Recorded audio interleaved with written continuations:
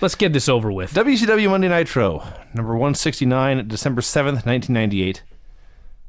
it's always good when you sit down and watch a three hour television show, and the first thing the host says is, folks, this has already been a draining day. I I cannot I never I never thought I'd say this, but I'm gonna. I can't wait till Russo shows up. Hmm. For two reasons. Number one, it's gonna get even worse. So like there's gonna be a level of badness where it's entertaining again. And number two, that's when it switches to two hours. That's uh, the best This news. three hour nitro is such a drain on my existence. Well, you bring up a point, bring up a point there, and you're wondering how, at times, the horrible product of Raw was winning. Raw was a spec- spectacular train wreck. This Nitro was just boring. It was rarely bad enough to make fun of. It was just a long, boring, pointless show. There was more stupid stuff on Raw. Yes. quite frankly. But I mean, I'm just gonna jump to the end here really quick. I mean, seriously, Should we just do the show backwards for fun? seriously, they got thirty thousand tickets sold, and they advertise a main event of Goldberg versus Bam Bam Bigelow. That would have been awesome. for three hours. Kevin Nash comes out here. He adds himself to the match. Whatever you think of that, it doesn't matter. There's a third star in the match. They went like 40 seconds. Uh-huh. I mean, come on. So whenever I hear everybody make all the excuses for why WCW died, AOL Time Warner, this, that, the other thing, no, it fucking sucked. That's why it died. Because it fucking sucked. Because it deserved to. Let's go on. So the draining day is that apparently there's why this drained the entire company. I don't know, but they've announced Goldberg versus Bam Bam Bigelow in a non-title match for the main event tonight. To which Schiavone Keep says, that in mind, by the way. A non-title match. Well, yes. why? Well, it was explained last week when they signed the contract. This is a very important detail. Goldberg will not be defending his title until, Until- his match with Kevin Nash. at Nash. Starcade, yes, So when he faces Bigelow tonight, it's non-title, right? right. Okay. Right. Schiavone says it's non-title and then says, "This is one of the biggest main events we've ever had." so right before the show went on the air, Scott Steiner killed Wildcat Willie. One of the best things on the show. They showed clips of it. Scott Steiner should meet up mascots every week, and I mean in 2017. The best part about it was he's killing Wildcat Willie, and Schiavone said something about, you know, this Wildcat Willie's a really nice guy. Sure he is. That's how he got sympathy. He's actually a nice guy, playing a cat. It's very mean for Scott Steiner to beat his ass. He's a mascot. Why? Why would he need sympathy? Because otherwise, why is Scott Steiner beating up fucking Wildcat Willie? Why should we care? Because he's a jerk. 'Cause it's No, funny. he's a nice guy. no. No, Steiner. Oh yeah, of course we know that. I laughed. That's all I care. That's all I know about. That's all I know and all I care about. Speaking of Scott Steiner, they recap, recapped all the nonsense with his heel ref on Nitro and Thunder. Would you like to recap it, Vinny? I'll do it for you. It's also a very important detail. Steiner's out of his mind. He's killing people, including executives. And mascot. He's a madman. Therefore, the referees were all afraid of Scott Steiner. Mm-hmm. So he decided, I'll just get my own referee. Am I missing any part of this puzzle? No. Okay. Go ahead. So Scott is a madman. He says some very offensive things. Forgive me, everyone, but he says the only things in Texas are steers and queers. it's not true, by the way. Thank you, Craig. There's other things. They have cacti. Are you telling me Scott Steiner's a liar? Yes. He bends the truth a bit. Yes. So he runs down Texas men for a while, asks for an ovation for, for Hollywood Hogan, which at first I was sure he said Halloween Hogan, which would be a better gimmick, honestly. Told them all to bow to him. The luch- luchador in red and yellow. Yeah, sure.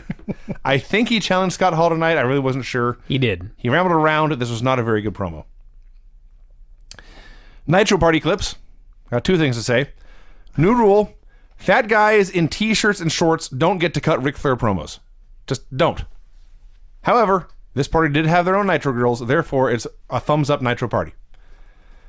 And on that note, they came back. The Nitro girls had already danced once. Now they danced a second time. Yeah, there wasn't a match in the ring until. Uh, You got to get your money's worth. 16 minutes into the show was the first match. right. Because But that's without commercials on the network. Also true. Also true. Because after the Nitro Girls have danced twice, now it's time for a Tigress video package. Can you imagine they put this on the air? And it went two and a half minutes Seemed longer. talking about her love of dance. They've got her dance teacher on there. She used to be an accountant. She works for Lisa Lopez. She's a full time dancer. She's Puerto Rican. She has a choreographer. She likes making people smile. What in the hell were they thinking? She used to work for Lisa Lopez. Well, at the time she did. Yeah. Not anymore. Thanks, She- Craig. she's gone. We're watching an old show. Just Now so I- you know. No, one of them's dead. That's why. Well, While Craig does whatever Craig is doing, I must apologize. I, I skipped over a match. Kendall Windham versus DDP. yeah, I- where are you? I, I skipped. I skipped this match. God forbid. what a tragedy that I did not talk about this match. In all seriousness, this match began 60 minutes into the show. It ended 18 minutes into the show. Page one with the diamond cutter. Mm-hmm. Yeah, he tried to idiot proof this match with Kendall Windham. It was all right. And I've said this before, but every time I see it, his diamond cutter setups are so antiquated. After seeing Randy Orton hit guys from virtually every conceivable position, doing every conceivable spot. Almost out of nowhere. But man, the place just goes nuts for it. The whole spot was, I'll whip you to the corner and hit you on the way out. And the announcer's like, my God, a brand new setup for the diamond cutter. They couldn't believe their eyes. Randy Orton is in fact smoother and more graceful than DDP. It's not just that; it's just it's more modern. It, it has all, it al- also has all been done before. That is true. Then we had the Tigress video package. Recaps of the Goldberg Nash Bigelow angle from last week. Then it's Norman Smiley versus Prince Iaukea. The second match begins 25 minutes into the show, plus commercials. Way to go! Head up versus Raw. Prince Iaukea versus Norman Smiley. Yeah. Bad match. Smiley wins. Who gives a fuck? Norman's out there in his small trunks and no knee pads doing all kinds of pelvic thrusting. My wife saw his dance and went, "Ew." Well, better luck next time, Norman. I guess. Every everybody who is in wrestling in like a management position should just watch all of these shows. Why are we the only ones doing this? Everybody should be doing this. There's so much to learn from this. I mean, they're patently obvious, but So Norman kicks out of a top rope splash for whatever reason. This second match on Nitro needs WrestleMania near falls. And then he goes for a crossface chicken wing, and he can't get it, and he can't get it, and he can't get it, and he can't get it. And then Iaukea just submits to nothing. well, Tony said he cranked his neck. Do you know what he actually did? It, it was actually very close to that hold Jinder uses that I like to make fun of. I think it was actually more involved because at least he has a half Nelson. Well, you know Norman Smiley works for WWE now, so it's very likely he gave that hold Maybe to he did. Jinder I hadn't thought of that. Yeah. This was a terrible hmm. match. Although I did like at the very end, Norman is doing his Lou dance in the middle of the ring, and just over his shoulder there's a sign in big letters reading "Feel the Wang." Hmm. Yeah, I saw that sign. Time travel. Eddie Guerrero on Thunder chewed out Rey Mysterio and said Juvi is the person in the LWO who are getting cruiserweight title shots. And then Schiavone, who was there to interview with them, towering over all of them, says, Actually, Eddie, WCW has booked Ray versus Juvi in a top contenders match. So Eddie throws a tantrum. We're back on Nitro. Jane brings Eddie out for a promo. Eddie says Ray is selfish and needs to be disciplined. He brings out Silver King, and they spoke in Spanish for a bit and they left together. Silver King, he's cutting this promo and he sounds exactly like Dr. Wagner Jr., which he should because he's his brother.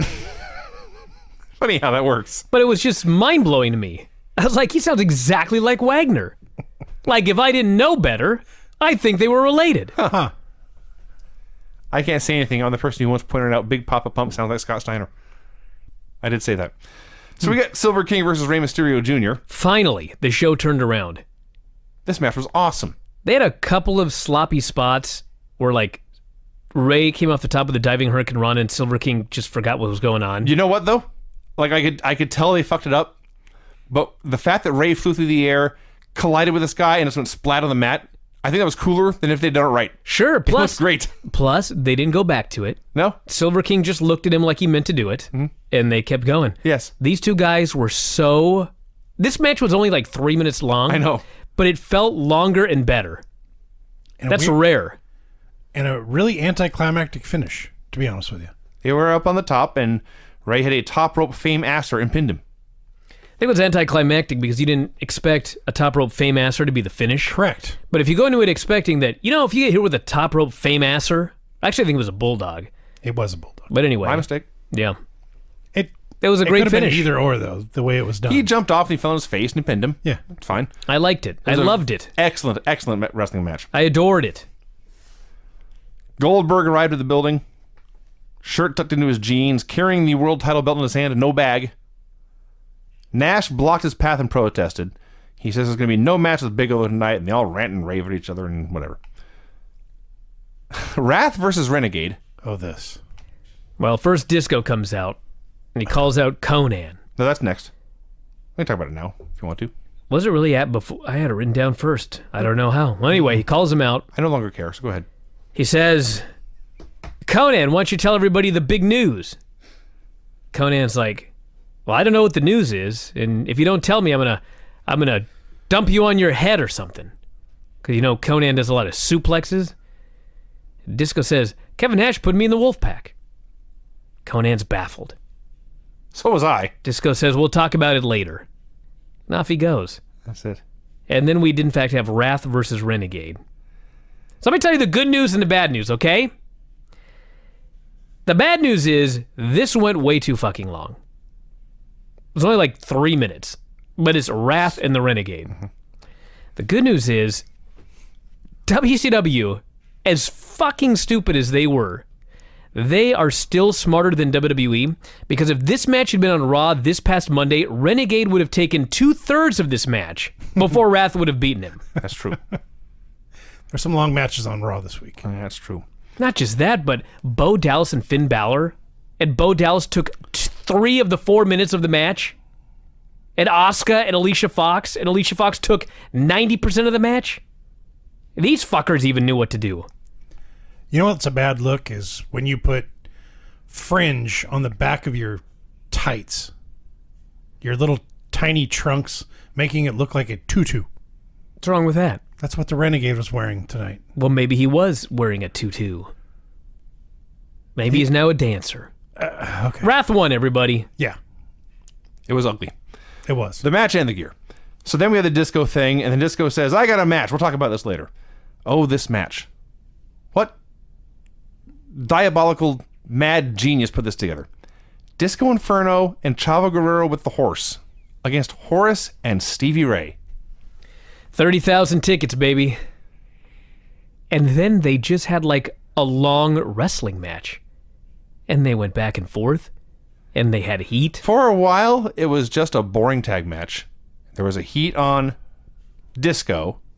Chavo makes his comeback, and it's not very good, but it's not like offensively bad.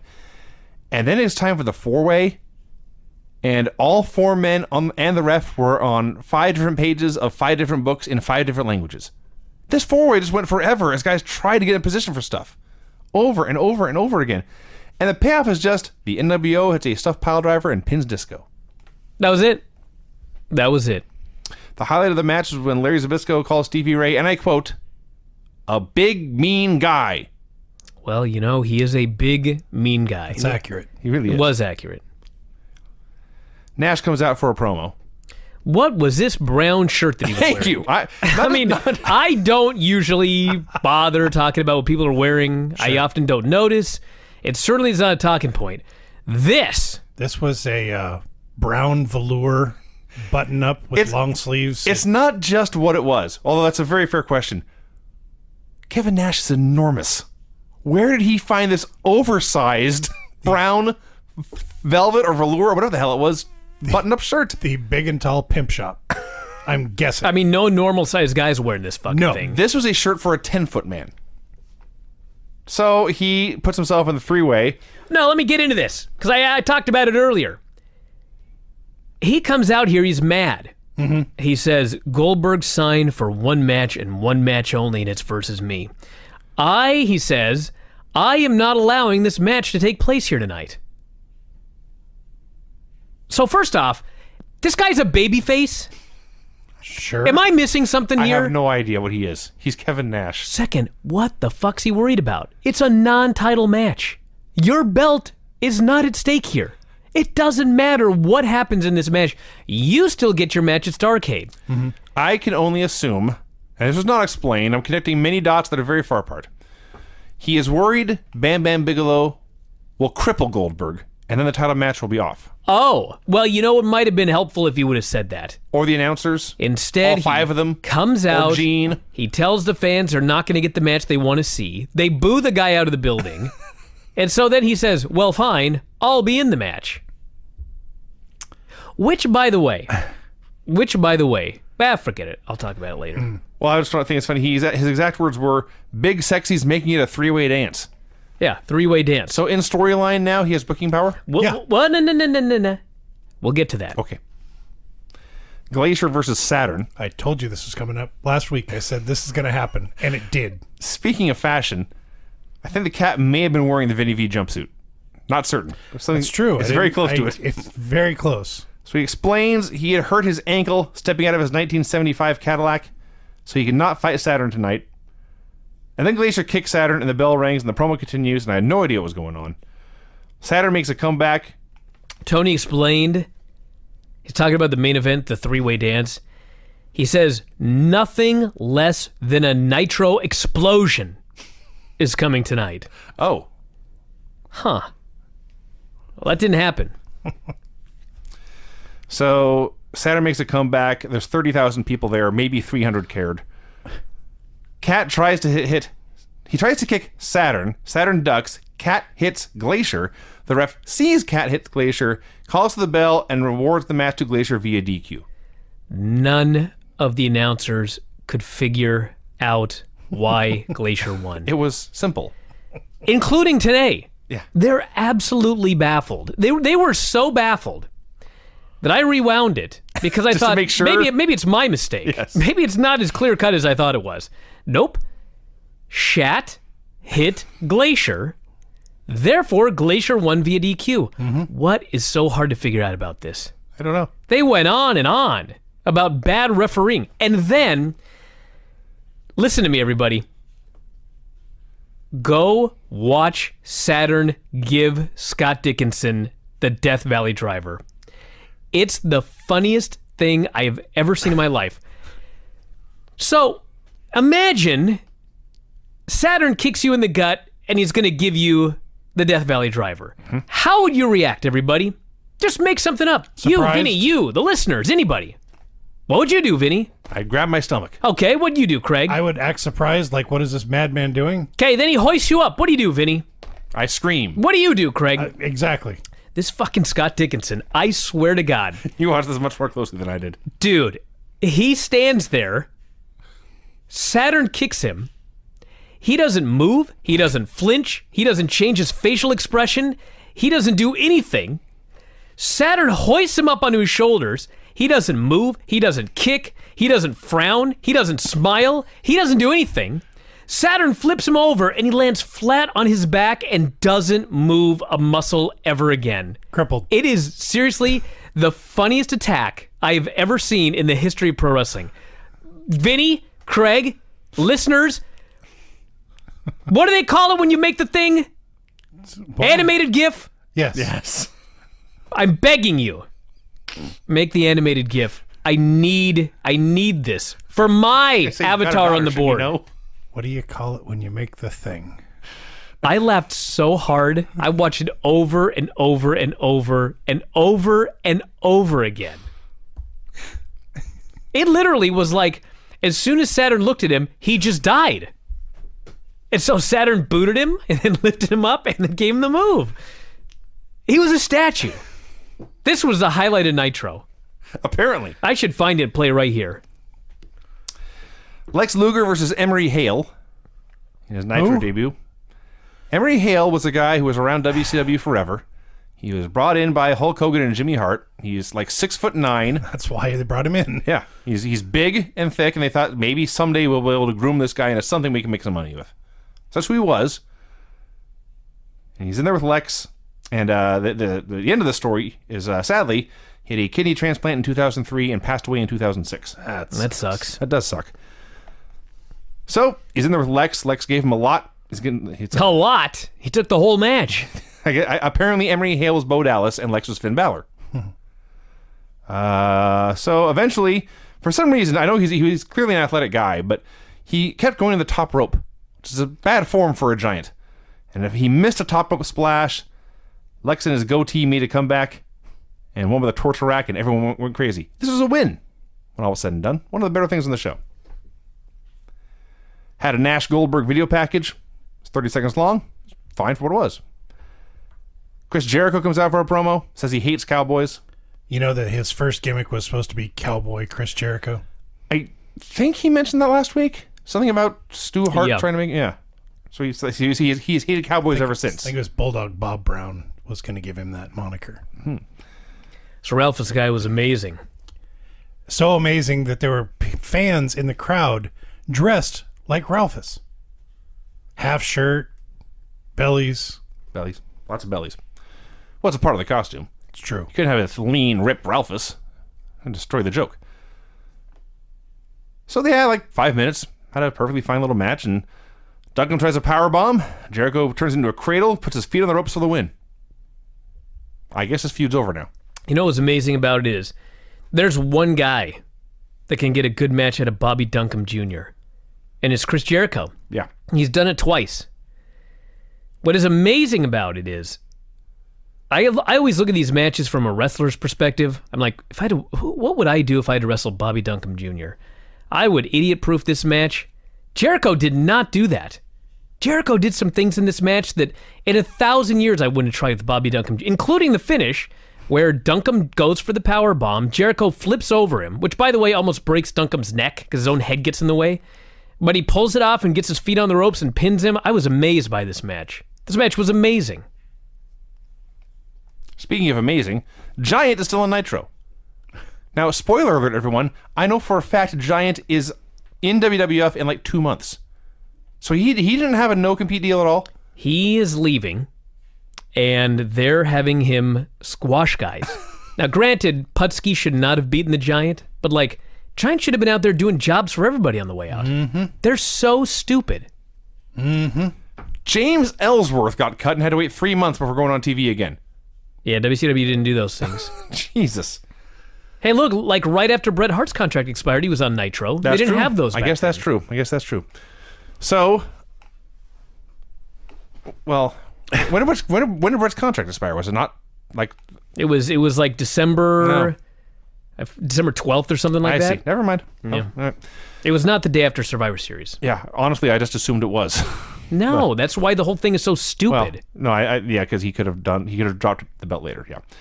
Regardless, Giant missed one chokeslam, hit another and won. And he cut a promo calling Page Leatherface.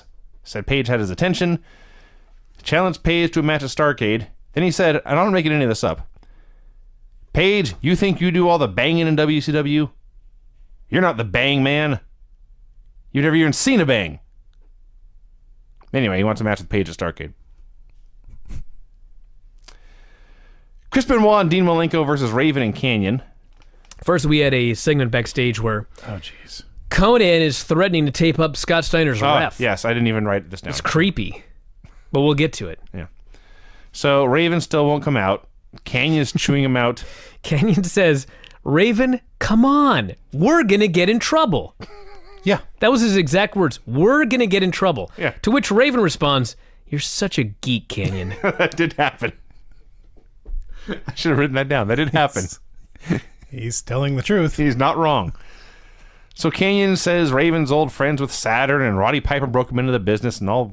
What? Okay, whatever. Then he comes out and says Raven won't come out here, so it's not going to be a tag match tonight. But I will face either you, Dean Malenko, or you, Chris Benoit, on Thunder. Can I ask a question as a fan? Mm-hmm. Where in the fuck is this Raven thing going?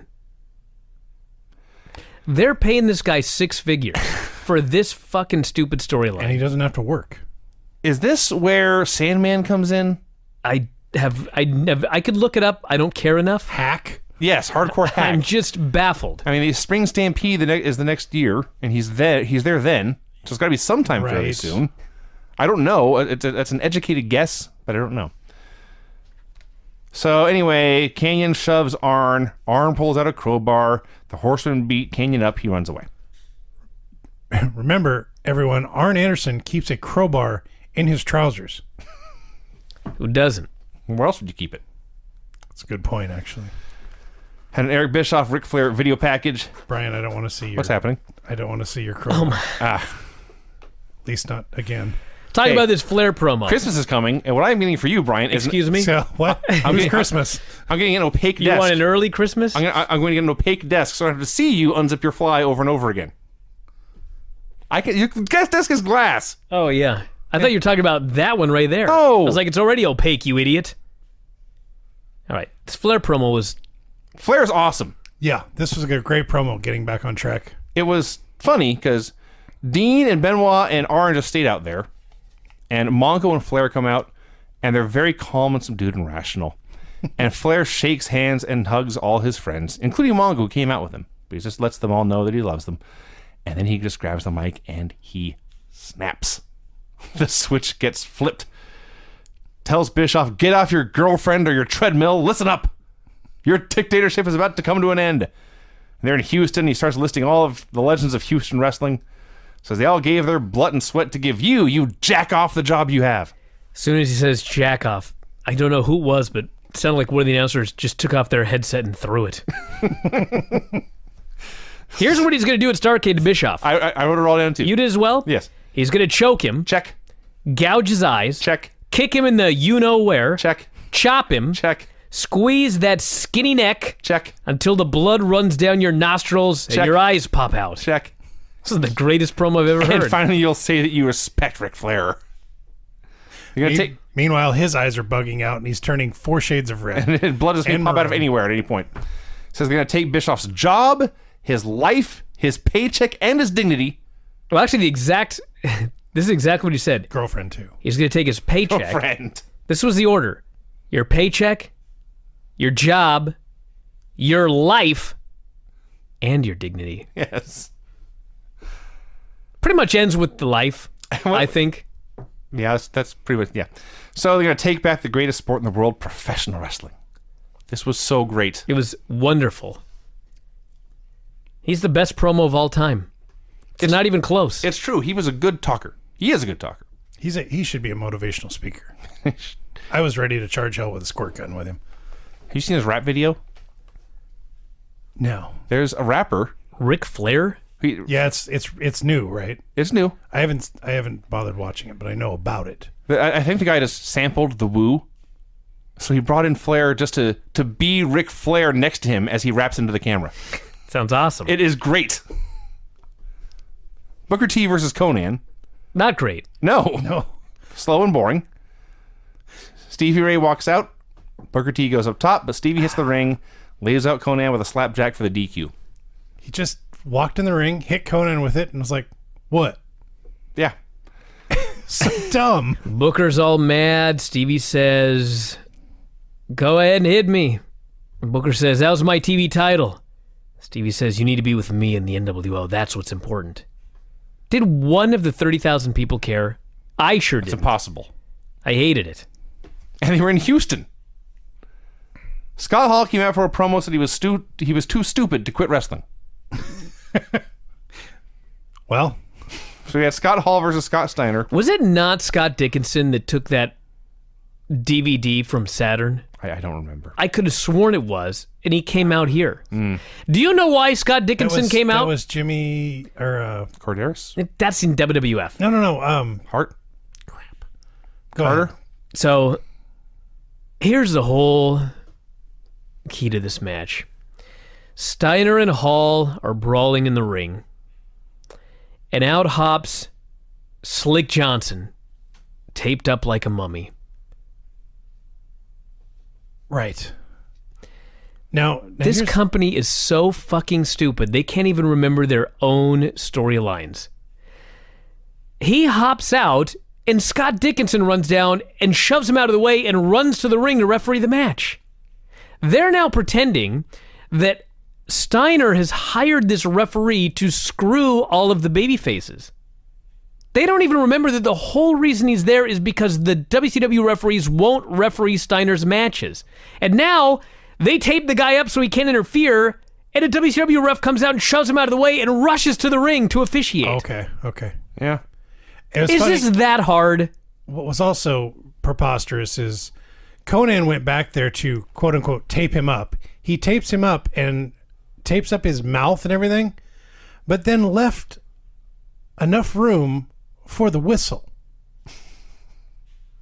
That's the least of my problems here. That's so stupid. Why would you do that? Dude, how about the whole storyline was stupid? That's bigger than a damn whistle. Anyway, They had a big brawl. It was stupid. All right, I'm Fans gonna try, loved I'm gonna try and play devil's advocate here. Uh, please, The, fa- please. the referees are afraid of Scott Steiner. yes. Scott Steiner says, "Okay, I will hire my own ref. He will screw my, all my opponents, all Yes. my matches." Mm-hmm. So Scott Dickinson, or whoever this ref, sa- ref is, says, "You know what? It's time to take a stand, and I shall put my life into my own hands for the good of the company. And we will screw this ref, and we'll go screw Scott Steiner, and try to get a fair match out of this." Well, we could add on top of everything else that it wasn't a match. And in the end, it was not a match. So what the hell was going on here? Well, it was going to be a match, wasn't it? yeah, And they did it was supposed to be a match. Yeah. The NWO ran in and attacked Hall. Luger and Konnan and Giant run out, and Page hits ring with a chair. Now, this is the kind of thing, it sounds awful. There's 7,000 things going on at once. It all leads to nothing. It's all the same brawl you've ever seen. This crowd did not love everything on the show, but they loved this anarchy and chaos. Hey, they loved it, and then DDP ran down, laid out Giant with a chair. That sets up their match at Starcade. I mean, it wasn't a total disaster, but this referee bullshit was just infuriating. It's my pet peeve. Always has been. Referee bullshit. Mean Gene brings Bret Hart out for a promo. The three best things in the show mm-hmm. Rey Mysterio, Ric Flair, and Bret Hart. Yeah, but this was kind of disappointing. I don't think so. He only had one funny line when he said the fans were throwing things at Gene. Oh, no, that wasn't even his best line. His best line is when he says, Dallas Page, you can fight me for the title, or you can fight the giant. You're probably better off taking the coward's way out and fighting the giant than fighting me. so now he's got no match. So instead of have, pri- hyping a match, he hypes up himself. What a great accomplishment this was, winning, winning back the U.S. title. This proves how excellent I am.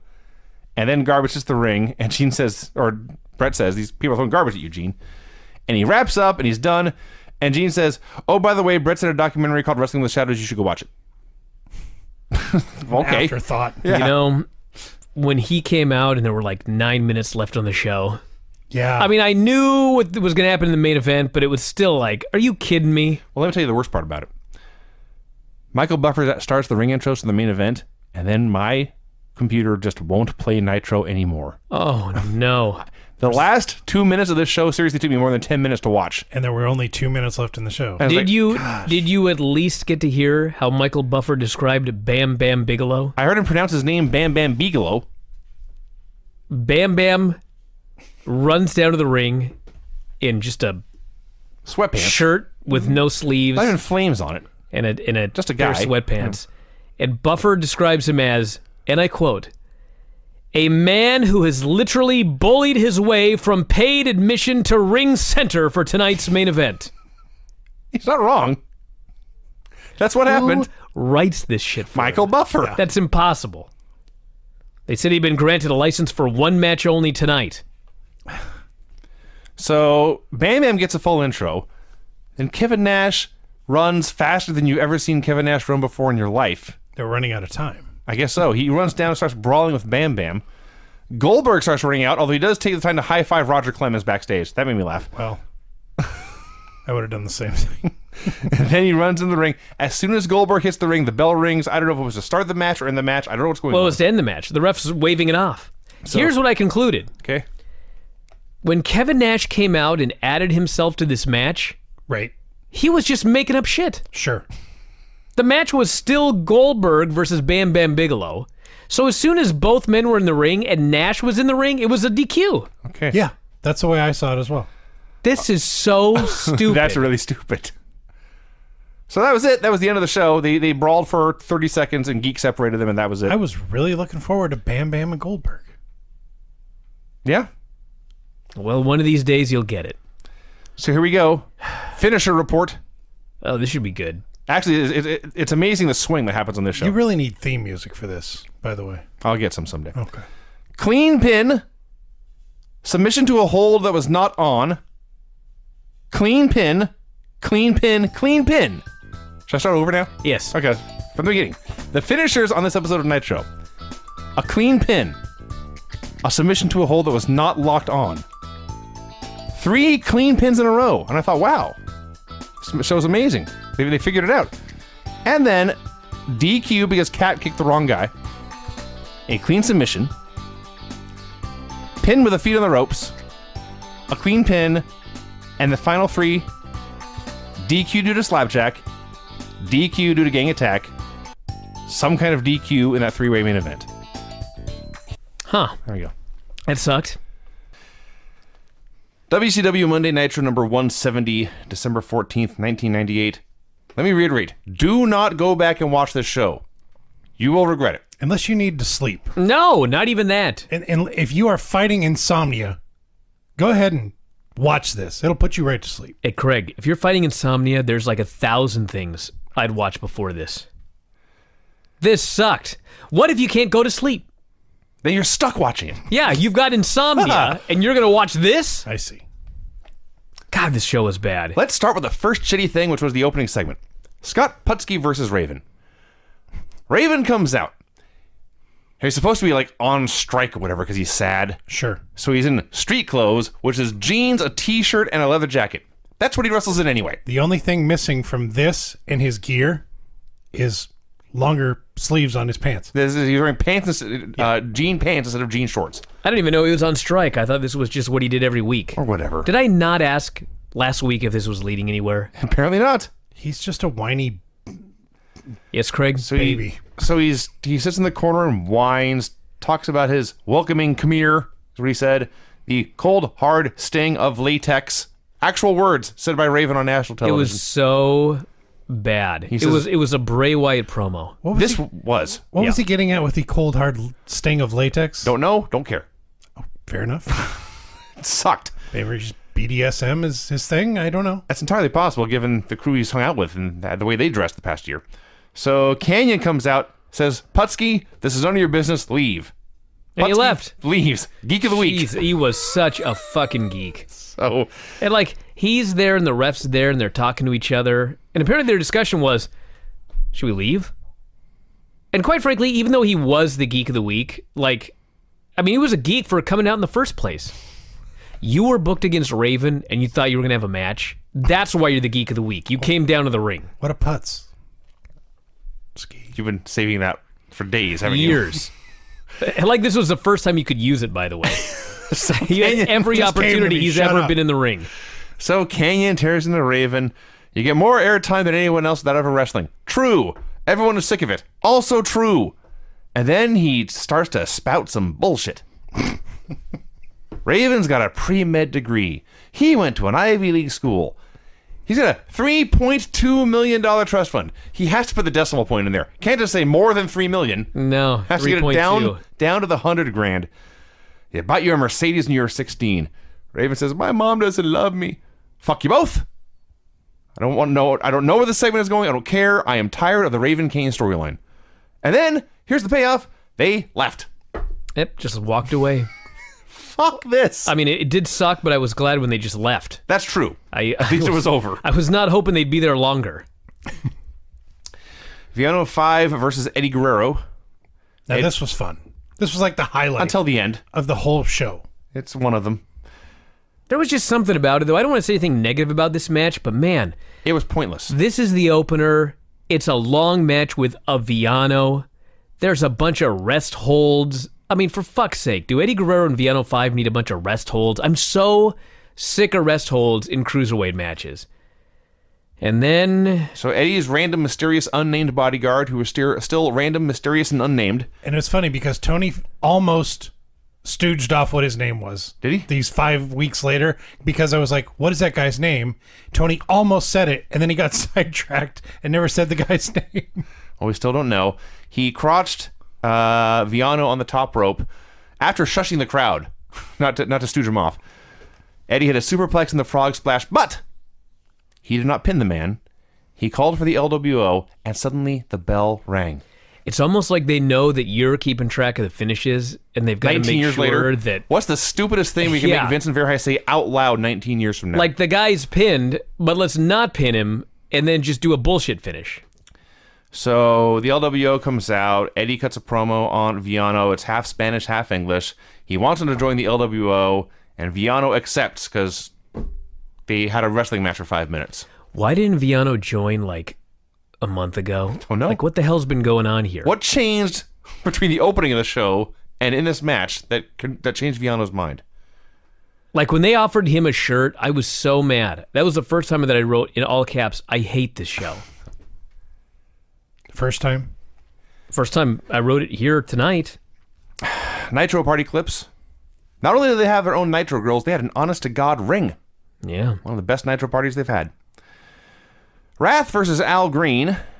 On a very depressing note, they pointed out the referee was Brady Boone, which caused me to look it up.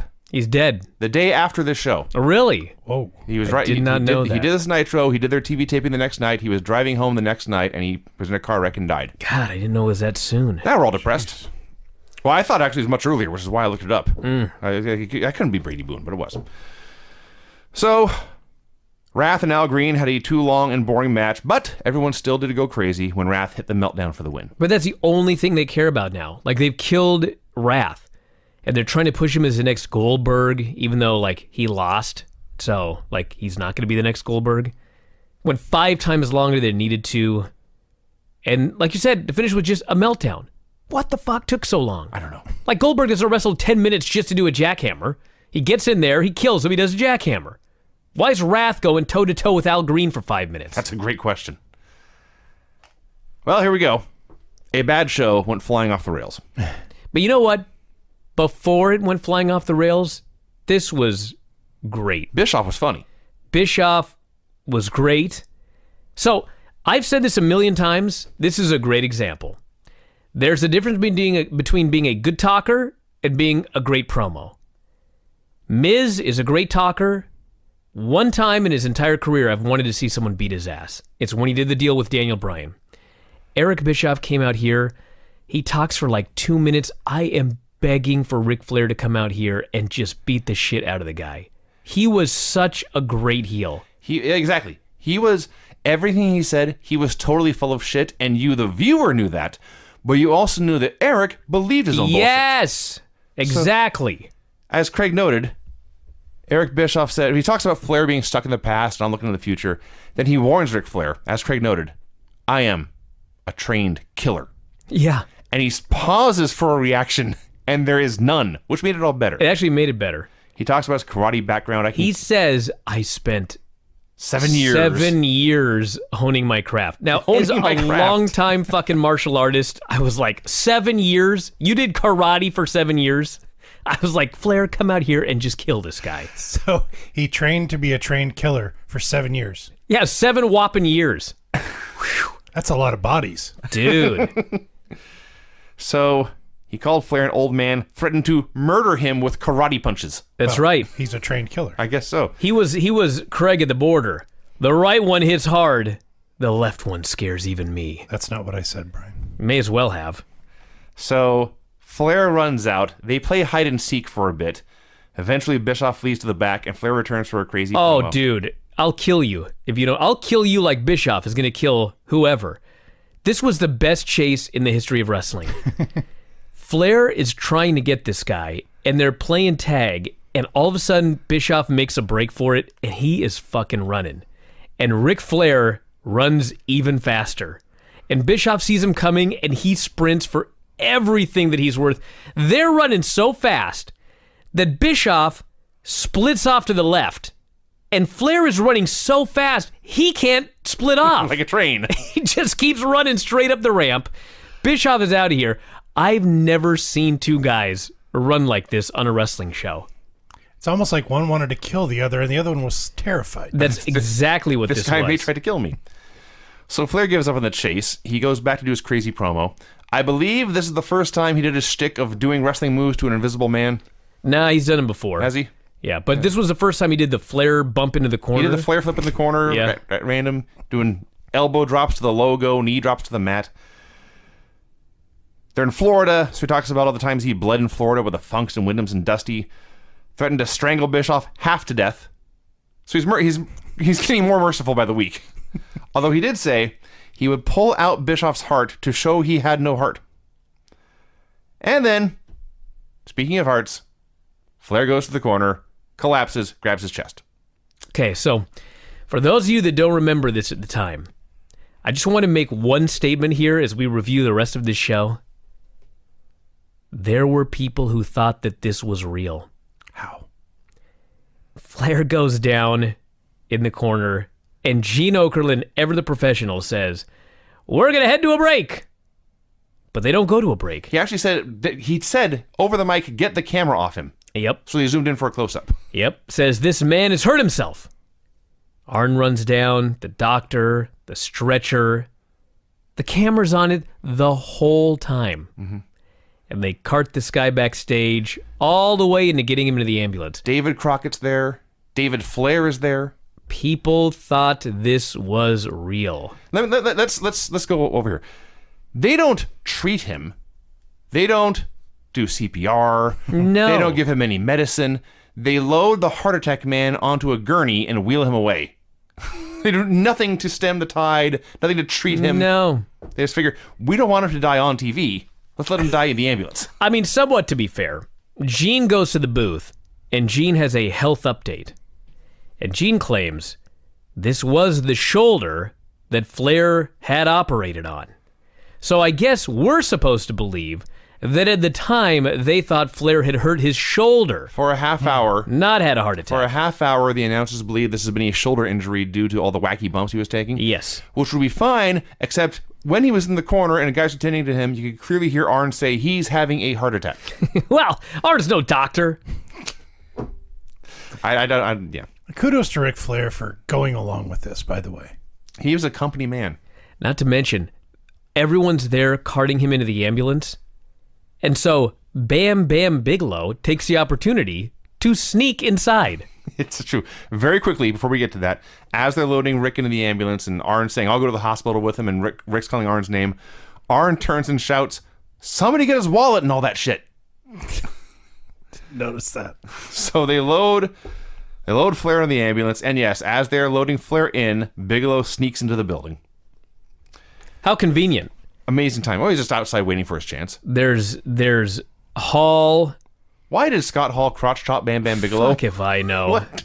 I, if I recall correctly, they had Heat and WWF, like for real. So Like the Kliq and Bigelow didn't get along. Or yeah, something yeah, like I, I know that happened, but It's fucking Nitro. The Nitro audience is going to remember that four years later. Vinny, do you watch this show? All they do is shit that no one has any idea what's going on. That's true. That's true. So Bam Bam whipped his ass. Nash arrives and shouts at Bigelow, and Goldberg's there. We get many, many, many minutes of these three men being held back and shouting. And somewhere in here, Terry Taylor booked a three-way.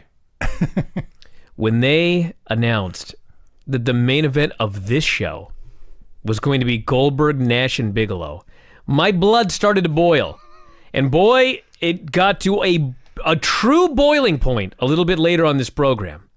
But I just was like, you promised this fucking match last week and you didn't deliver it. Now, us fucking idiots are supposed to believe that you're actually going to deliver it this week. Who do you think we are? Well, the answer is they think we're idiots. They do. As we're going to find out here in a second. So this whole thing, from Eric Bischoff coming out to Terry Taylor booking a three-way, I didn't time it. It had to have been at least 20 minutes, probably more. It went forever. One great big long segment. And I don't remember how I reacted 19 years ago, but in the decades since, I've lost friends to heart attacks. This was no fun at all.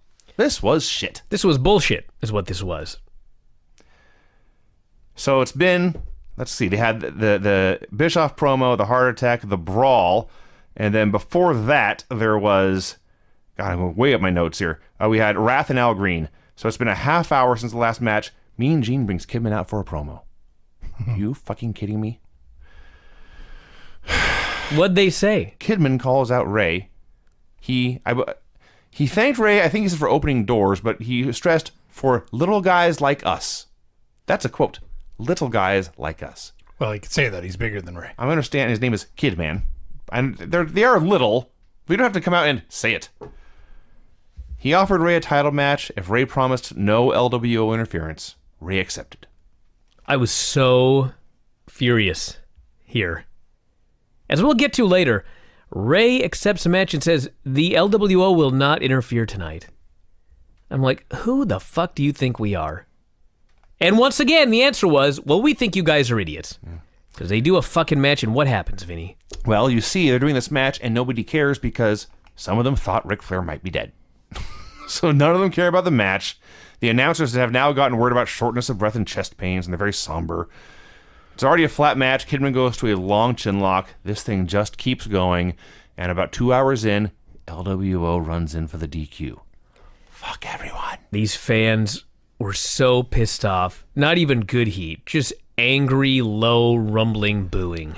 There was one pop, and that's when Kidman performed a top rope sky high on Rey Mysterio, and that was the only pop in the match. But it was a very spectacular looking move, but the crowd just really didn't care. No. Who So could possibly watch this show? Like, how can you not switch to Raw? I don't know. So the LWO runs in. Rey and Kidman work together to clean house, and then I think I think Kidman may have legit forgot how they're supposed to end because he leaves. They beat up Rey. He comes back and they beat him up too. They replayed the entire segment from when Bam Bam came into the building to the point it was separated and Terry Taylor booked the match. This is seriously like five minutes, and they played the whole thing over again. Now, I will say this. The second time, I it was very clear. Not only did Terry Taylor book them in a three-way, he also promised there would be no run-ins. Excuse me? Yes, that is correct. He promised there would be no run-ins. They told us, stick around for this main event. We promise you're going to get a three way and nobody is to run in. How can they promise that? They actually said those words. Yeah, that's what Terry Taylor, the Red Rooster, said to me, the viewer. Idiots. Assholes. I was so angry when I heard that. Now, I knew he was lying when he said it, but even if you take him at his word, why don't you do that for all the matches? well, there is that. There is that. Chris Jericho comes out for a promo, brings out some guy dressed like Konnan, has a whiteboard. He's trying to explain how Konnan used a bunch of foreign objects to beat him last week. And he beat it to fake Konnan, and nobody cared. I was just watching this thing thinking, you know, this might have been funny, No. but on this fucking show, this was absolute television death. Crowd was so dead for all of this, and it sucked. This was not Jericho's best material. What do we follow that up with? Well, the Nitro Girls danced, and ordinarily I don't point that out anymore, but the Nitro Girls were the only positive thing about the show so far. So I'm going to credit them for keeping the show at some level of watchability. Emory Hale versus Barry Windham. Emory Hale versus Barry Windham. Head to head with Monday Night Raw, you say? Mm-hmm. Man, oh man. Crowd was comatose. Barry's out there wrestling not only in blue jeans, but also a denim vest. The whole match. It went back and forth for two minutes. Barry won with a superplex. Norman Smiley versus Saturn. You know, this was where I first heard the announcement that the main event was going to have no run ins. And they said no outside interference, because I guess a run in and fucking outside interference are two different things. But what made me so mad about it was number one, like, fuck you. And number two, if you're to do the stip where you're to tell us to stick around for the main event because there will be no outside interference, why the fuck did you do that thing with Rey Mysterio where you promised no outside interference and fucking guys ran in? Like, are you that stupid? Why is this so hard? So Norman Smiley's wrestling Saturn. Crowd is tw- chanting twinkle toes at Norman, which I don't think he was used to getting any kind of reaction at all. So he kept kept looking at them and, and, and, and inciting more. Saturn snapped and whipped his ass. Maybe the coolest thing on the show, Saturn had a really cool chicken wing waistlock, waistlock suplex. That was awesome. The real best thing on this show and in this match was when the ref went down. Shat sneaks into the ring. He gives Saturn a super kick and then he does the robot and a crotch chop. that was amazing. So Saturn is dead. He is a dead body, and Norman Smiley makes the cover. And since the ref is down, to play off last week, Scott Dickinson runs down and he gives a fast count to a dead guy. Yeah. I hate, I hate this show. He got DVD last week, Bryan. He was mad. The guy was dead. What the fuck did you need to fast count for? I mean, hello. Like, I want to rewrite my whole book. I was not. You were too kind on I them. was too kind. Went too easy. This Well- fucking sucked. They paid off the thing from last week. Get out of here. Come on. Yeah, now where does it go from here? Probably nowhere. Bret Hart came out for a promo. Oh, here's another good one. They're trying to convince us that Ric Flair had a heart attack. Yeah. Fucking Bret Hart comes out, he's just, hey, they're dropping like flies. Yes. That's what he said. People thought he had a heart attack. So Bret's talking about how everyone's hurt because he put him on the shelf. He, of course, still has a bad groin, but he's still fighting through it. He's a three-time U.S. champ. And he said that, and I was like, record scratch. I watch the show every single week. Where were we? Yeah. There was, I remember there was the one with Luger. Remember Luger won? It was like an awesome moment, and then the next week Bret just showed Yeah, up that with the must belt be again. it. Because then he lost it to Page and won it back. Yeah, so there you go. So when he went the first time? Sting? no, the first time was Luger. First time was Luger.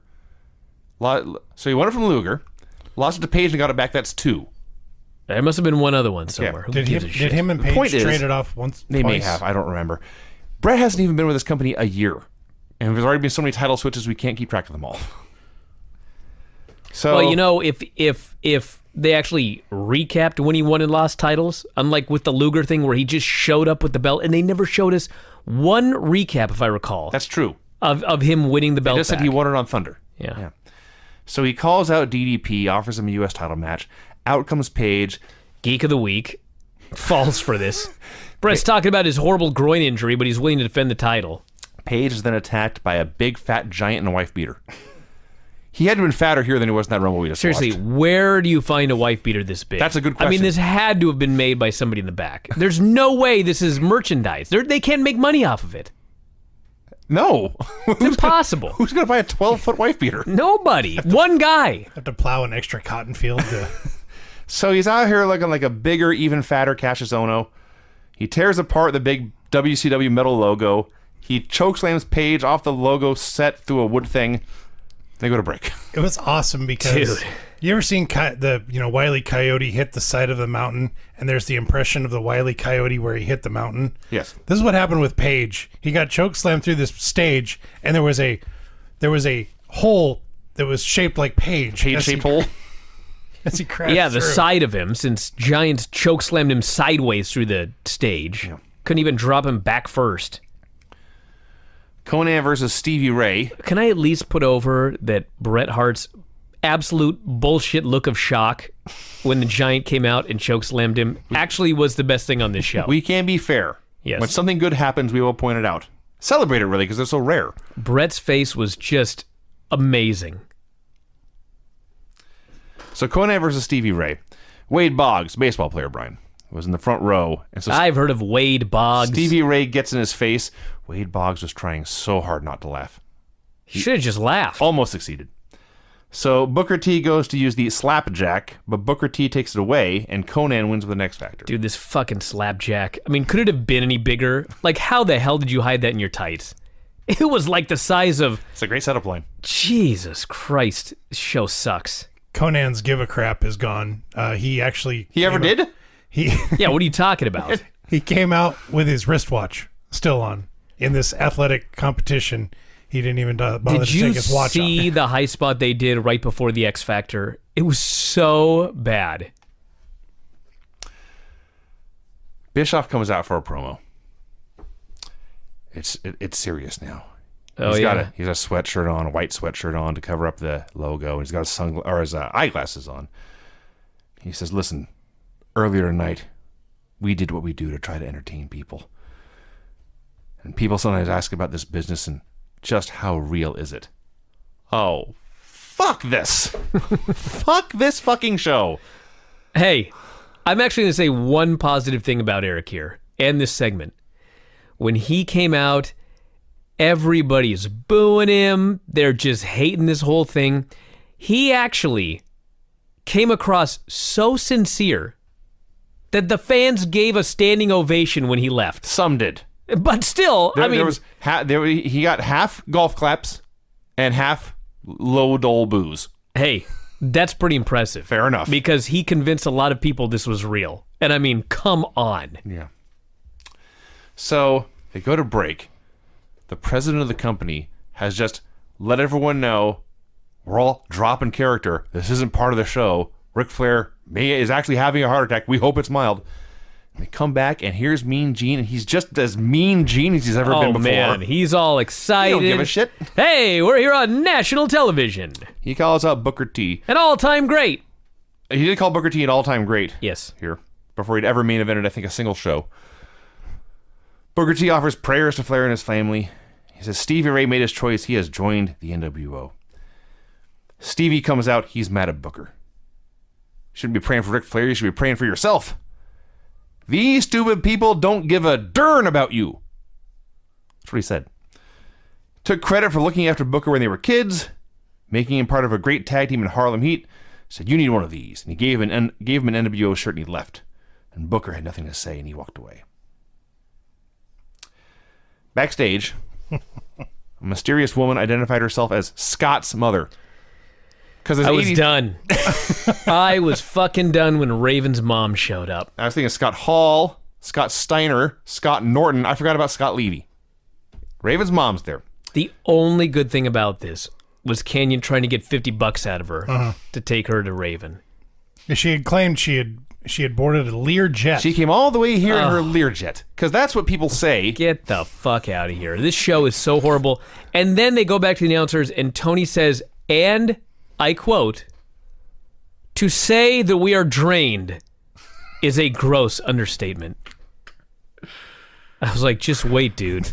Just you wait, buddy. I feel you, Tony. I feel you. We have Scott Hall versus Horace. So Scott's on his way down to the ring. Tony, who is drained, which is a gross understatement, now he says, Flair allegedly had a heart attack.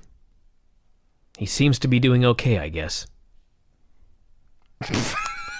Okay. That was that was his update.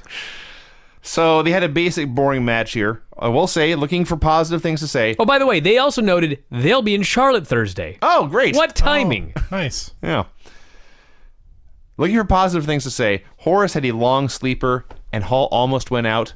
But when his arm didn't drop the third time, and he fired up to his feet, because he was a heel for almost his entire career, at least at the, the top level. I know there was a brief Razor Ramon babyface run, but he was so wacky, selling the sleeper, but also firing up and getting the crowd mm-hmm. behind him. Everyone started to cheer on what had been a very long, very bad show. When so he when he put the sleeper on, I actually fell asleep. that's also possible, yeah. yeah. So credit to Scott Hall for waking everyone up after the sleeper hold. And then the B teamers hit the ring for the DQ. At least this was shorter than the Rey and Kidman match. Oh, Disco, who apparently has joined the wolf pack and no one else knows it. Well, he's he's just got himself a shirt. He bought a shirt. yeah, it's, it's Merch very stand. confusing. He runs out to hit the ring and make the save. Here's another good thing. This at the time I thought was the best thing in the show. Scott Norton grabbed him and powerbombed him in half. Oh my god, he killed him. Howled with laughter. Oh my god, he just killed this guy. Just destroyed him. This was one of those power bombs where the guy's knees actually hit him hit him in the face Yeah. yeah. when they come down. Yes. he just folded him in half. It was amazing. Oh, it was beautiful. Van Hammer versus Scott Steiner. Can you imagine they put this on television? Scott Steiner and Van Hammer. Why couldn't I have four extra minutes of the main event? Well, because we needed Van Hammer on the show, and we needed Steiner doing a promo talking about something that was cackulated. Van Hammer said. doing his hippie gimmick for maybe the first time. I forget. I don't think so. no, he may have. No, he before. didn't. Okay. Regardless, the music was new. I see. Regardless, Steiner killed him, beat him with a Steiner recliner. Goes to cut his promo. He did in fact say that everything the NWO did was calculated. Calculated. He calls out Lex Luger. He says Like Lex, Dusty wrote that promo. Lex, Lex should be fighting for the world title. He should have won World War Three. Maybe Dusty was going to write the promo for him, but Steiner was like, I, I can't read all that. Just tell me what you want me to say. And Dusty said, and everything in the NWO is cackulated. So he went Maybe- out there and pulled it off. Dusty dictated it, Yes, exactly. and and, and his Steiner's iPhone picked right. it up. Cack, cack-elated? Cackulated. Okay. Whatever. Wrote it down. You're the boss. There's no squiggly line back then. No, You had to write it on a piece of paper that's right. and get a dictionary like on that NWA show. So Lex comes out to hear what they have to say. Bagwell starts talking about how he broke his neck and Lex is the one who got him back in the ring. What? when did this happen? Where did it, where did Well, he come said that when he was when he was injured, he called Lex for exercise advice. Yeah, advice. advice. from? I see. Yeah. All right. Because you know all those times Lex broke his fucking neck, had to come back. Uh, they say Konnan, Nash, and Sting, they've never done anything for you. You're always giving Lex, you never receive. And they offered him the black and white shirt, but Lex just smiled and walked away. At last, it was time for the main event. Okay, can I just say something about this here? Last week, it was supposed to be Nash, Goldberg, and Bigelow. Mm-hmm. Right? They mm-hmm. announced that midway through the show. Yep. They talk about it the whole show, and then it doesn't happen. This week, they start talking about it again. They sign the match. They announce it will be no disqualification or no run-ins, no interference, There will whatever. be no run-ins. They they plug it for an hour and a half. Bigelow starts coming down to the ring, and Tony says, "This is an unexpected match. A fucking unexpected match. You've been talking about it for two weeks now. What happened at the end? Well, before we get to the end, it went, it went like three or four minutes. It was mostly fine. There was a point where Goldberg locked Nash in a knee bar, and Goldberg's not the most delicate worker, and Nash is not the most sturdily built man. like 20 years later, I screamed, Careful! Yes, he's brittle. Yes, and he just had his knee replaced. Maybe because of this knee bar, for all I know. Goldberg gets a couple of spears, but he's never able to get the jackhammer. He's going to do it to Nash. And then Scott Hall attacks him. He runs in when they promised there would be no runs in. He runs in for outside interference. He out- interferes from the outside. It's a disqualification in a three way match where we were promised there would be no run ins. It only gets worse. Please tell me that someone somewhere was punched in the face as a result of this show. Doubtful. Someone needed physical beatings. Doubtful. So there's four guys. What's funny fighting. is at the time Eric was trying to lay the law down. Like apparently Stevie Ray didn't want to do a job for Konnan. And Bischoff got wind of it and said, Fuck you, you're doing this job. He was trying to lay down the law during this this show. So Hall and Bigelow are brawling on the floor. Nash and Goldberg, who are main eventing the pay per view in two weeks, had a miserably bad brawl in the ring. My God! And the show ends that way. Bryan, do you have the finisher music ready? Oh, yeah, I can get it ready. I'd like to note, by the way, that at the time of this show, Goldberg's merch sales had slowed down drastically. They couldn't figure out why. Huh. Weird. Alrighty. What music do we use? I, you pick. I don't know the names. The contest music? Sure. Sure. Just something wacky. That's that's uh, that's what it was. All right, hold on here. Damn it. Why is this so hard? Here Uh, I feel bad. There we go. The finishes on this show were no match because Raven was whiny. No finish because one guy was recruited to join the other guy's gang. Clean pin. DQ when Mexicans attacked an hour into the match. Clean pin. Pin on a fast count by a biased ref after the first ref got bumped and two dudes interfered. Pin after a guy pulled out a foreign object but didn't use it. DQ due to gang attack. Clean submission, though it was with a crooked ref. And DQ due to run in in a three way, where they promised there would be no run ins in this three way. There you go. WCW Monday Nitro 171, December 21st, 1998. So there's a recap of the outsiders arriving and Eric Bischoff joining the NWO and all the evil things he's done. And all this did was remind me that the NWO is now going on for two and a half years. This It's weird. They started showing the video package with Hall and Nash showing up, and it was one of those deals where I thought I watched the wrong show. Mm-hmm. yeah, yeah. And then the video package keeps going, and there's Reed and David Flair. Yes, and I'm like, I, sh- I surely watched the wrong show. but it turns out that was on Thunder. Apparently on Thunder, they beat up the Flair boys.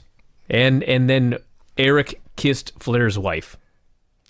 Which which number was that? I think two. Okay.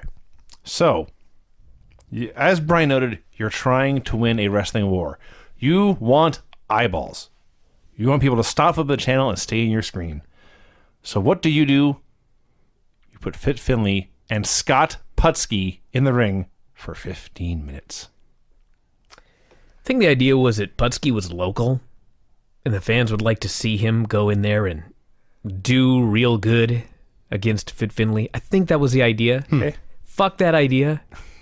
Like, it's still Fit Finlay versus Scott Putski, and you're on national television. I described it like this: the match was okay, but it was okay for 15 minutes. That's not okay, though. Exactly. That's the problem. Yeah. and they just did hold after hold after hold after hold. To their credit, the crowd got into Putski. This is what I when he started his comeback. Fit Finlay, I've said this before, the most underrated wrestler of the Monday Night Wars. People were into Scott Putski's comeback. You know, T- in a 15 minute match. They'd just sitting there forever. In the opener, they'd seen nothing yet. my big problem came when they're doing all these moves, and it's time for a commercial break, I see where you're going. and they go to commercial. Okay. Now the good news is it wasn't right after a dive. Hmm. They just went to commercial during one of the five thousand holds in this match. They come back and both men are standing in the middle of the ring, and Finlay wants a handshake. they just start over. They literally started over again. This was 25 minutes of the program in real time. Scott Putski versus Fit Finlay. And then, Putski missed a Polish hammer. Finlay hit the rolling fireman's carry and a tombstone for the win. There you go. I was pretty mad, but I, was- I was you doing okay now. I was doing all right. Like maybe, maybe something exciting, interesting will happen. sure. I was like, No. you know, something weird just happened, but you know, At the end, they there, got- there's two and a half hours left. Let's at- see what happens. At the end, the mid card guy beat the bottom of the card guy, and this 15, 20, 25, whatever it was, established nothing. So, as I noted, it's 25 minutes into the show. The show began with a recap of the Eric Bischoff Ric Flair thing. They air a 15 minute Scott Putski match, and when it's over, they aired the Eric Bischoff Ric Flair recap again. Are well- you absolutely kidding me? By the way, in that 15 minute Scott Putski match, the announcers very casually mentioned, yes, fans, Ric Flair did have a heart attack on live TV next week, but he will still be competing at Starcade. Well, they didn't quite say that. They said the match is still on. We'll see if he can compete. Uh huh. Yes. so, for those of you that don't remember, the storyline was supposed to be that Eric Bischoff poisoned Oh, yeah. Ric yeah. Flair. But then they realized that's stupid. It's also criminal. This fucking company realized that's stupid. And so now, just, he's back. So they didn't even bother to explain it. No. By the way, they showed more of the angle with the uh, David and Reed Flair on Thunder. you remember your reaction to the referee who had no reaction when Saturn hit him with the DVD? Yes. Reed Flair had the same reaction to David Flair getting chokeslammed. well, what's he going to do? Well, it is his older brother. That that crossed my mind too. He's probably happy about it. He Yeah. probably paid Brian Adams off to do this. Now, you've already you're trying to win a wrestling war. We need to establish this, folks. This is life and death. They are fighting for their careers, and in the end, they lost, and WCW has lost its career. So you've done a 15 minute match with Scott Putski. How should we follow this up? If you voted, let's do an angle with Cat and Santa Claus, you may work for WCW the cat comes out for a promo talking about how great he is, daring fans to fight him. Santa Claus appears in the aisle throwing candy to children. Because that's what Santa does is throws candy. Cat dares Santa Claus to get in the ring. Tony explains Cat has been beating up Santa Claus on house shows around the region. Really? I didn't know that. That's what they said. God said. damn, that's news to me. Cat throws a punch. Santa ducks it, hits a pair of suplexes. He begins to disrobe. He's in the middle. He doesn't even. He he still has half the costume and makeup on. They're able to establish it's Saturn, and then it's to the break. Like he still has the, the beard and the nose. Man, half Saturn, half Santa was a monstrosity. you thought the guy was ugly before. I mean, put a beard on him and white And eyebrows. nose, yeah. Oh my god. It's horrifying. And then 30 minutes in real time since the show began, they air the Nitro Open. Yeah. Because legally, you must air the Open at some oh. point on the program. Huh. With the show officially underway, I guess it's time for the opener. Kaz Hayashi. It's Hayashi. not the opener. I'm Well, they just did the opening. I see. Yeah. Kaz Hayashi versus Chavo Guerrero Jr. I mean, I could have understood if you would have forgotten the Putski match by now, but So, Chavo's got his stick horse. did, did you watch this one? Um, I watched the end of it. I was, You I was so I was so mad. I just skipped nothing. past the had, stick horse. they had a fast paced three minute match. Chavo won with a tornado DDT. Yippee. I used to really like Kaz Hayashi until I started watching him again. I'm sure it'll pick up. Okay. I'm not. Why? Why would it? I don't know. I was trying to. The company's gonna get better. I was trying to. They're be gonna devote more time to the cruiserweights later. The Young Dragons did some fun stuff. Vinny was trying to be Mr. Brightside. yes. Why? Never has before. That's Somebody's got to. I'll never make it through the show. They replayed the Goldberg Nash Bigelow angle from last week, including once again Terry Taylor promising nobody will run in. Mm-hmm. And then they showed Scott Hall running in. Liar. God, why? Why would you air that in the recap? Because they're WCW. Just to further piss people off. That's off a great question, actually. and just tell them don't believe anything that we say because it's all bullshit. Here comes Kevin Nash. That's your segue. First off, what was it? A was it a jersey? yes. It was God a, damn, it was this a was- Dale Earnhardt jersey. This Dale Earnhardt see. jersey was so atrocious, and he tucks it into his fucking jeans, well, which are hiked up. He's doing the duck face that teenage girls do for selfies nowadays. Fucking walks down to the ring and just leans on the ropes and makes does this- look thinner, I think. promo about Goldberg where I swear to God, he brags about his own WWF championship reign. The fucking worst championship reign of the modern era of any import. He's talking about how it's a big deal. Well, you see, Bryan. He defended that title 190 times and never lost. 197. So that streak is more impressive than Goldberg's streak of a mere 173 wins. Yeah, he's an idiot. Now, when he mentioned Goldberg the first time, he was roundly booed. They booed Goldberg's name. It did. Now, later in the promo, there was a Goldberg chant. So the, he still had his supporters, but there was, in fact, an, a, a, a strong anti Goldberg contingent, at least in St. Louis. Gee, I wonder why. Let's let's take a guy and it's a certain way to book him, and then let's just stop and see what happens. So Nash wishes Flair well, then steals his line of saying, To be the man, you got to beat the man. And Goldberg on Saturday night, I'm going to kick your ass. I Hey. thought this was a hell of a promo. The final line was great. I wasn't down with the rest of it. Listen, I was there through his WWF title run. That was so stupid. He mentions WWF so people cheer on a WCW show. The Nitro Girls danced, which I mentioned because they had a new member this week named Storm, who would later gain greater fame as Her Royal Majesty Queen Charmell. Wow.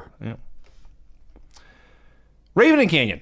Okay, Can I read the first line of my review? if you want to. Fuck my life. Wow. That's where I really that's where I really hit the wall. Right here in this segment.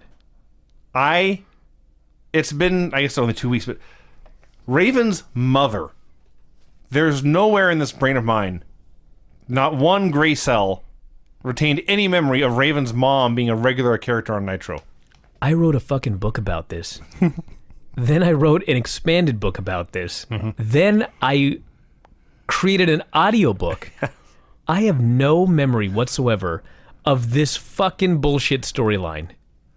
It's got to be over this week, right? There's no way it goes longer. Mrs. Levy, you don't think she hangs out for another month? I prefer the name Mama Raven. Dude. So Raven says, My mom's only here to get on TV. She saw Judy Bagwell win a tag team championship. She figures she can spear Goldberg and win the world title. Well, logically, she's not wrong.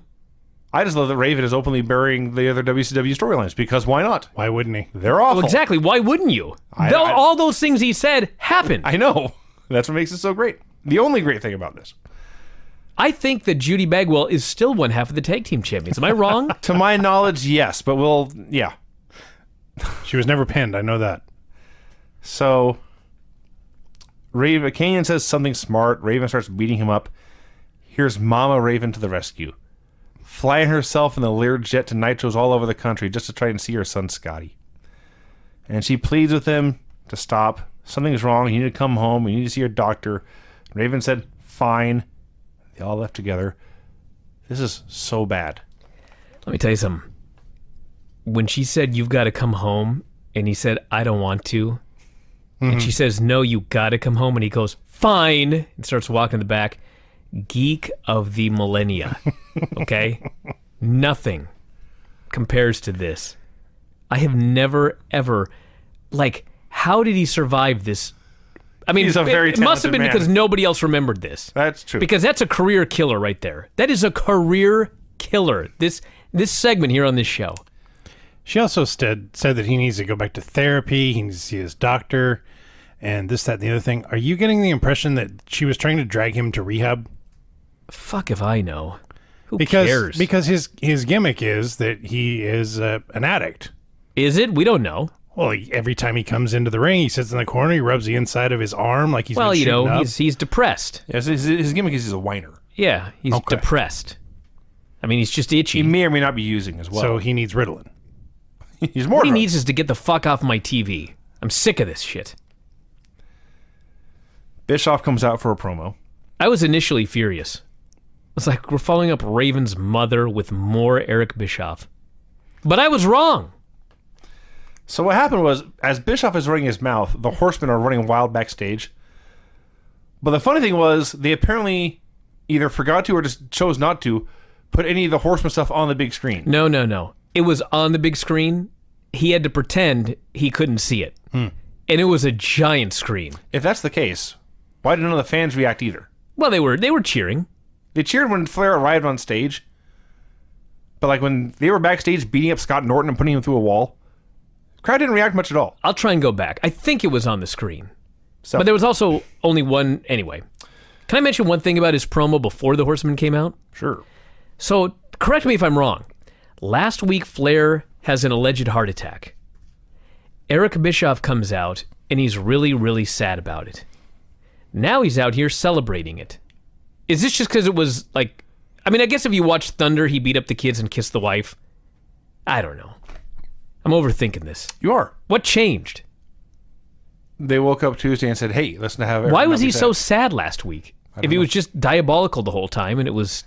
What's going on? Maybe he was still going to be poisoned by that point. And they wanted to throw him. He wanted to throw the cops off the scent. Oh, I see. Had to feign sadness.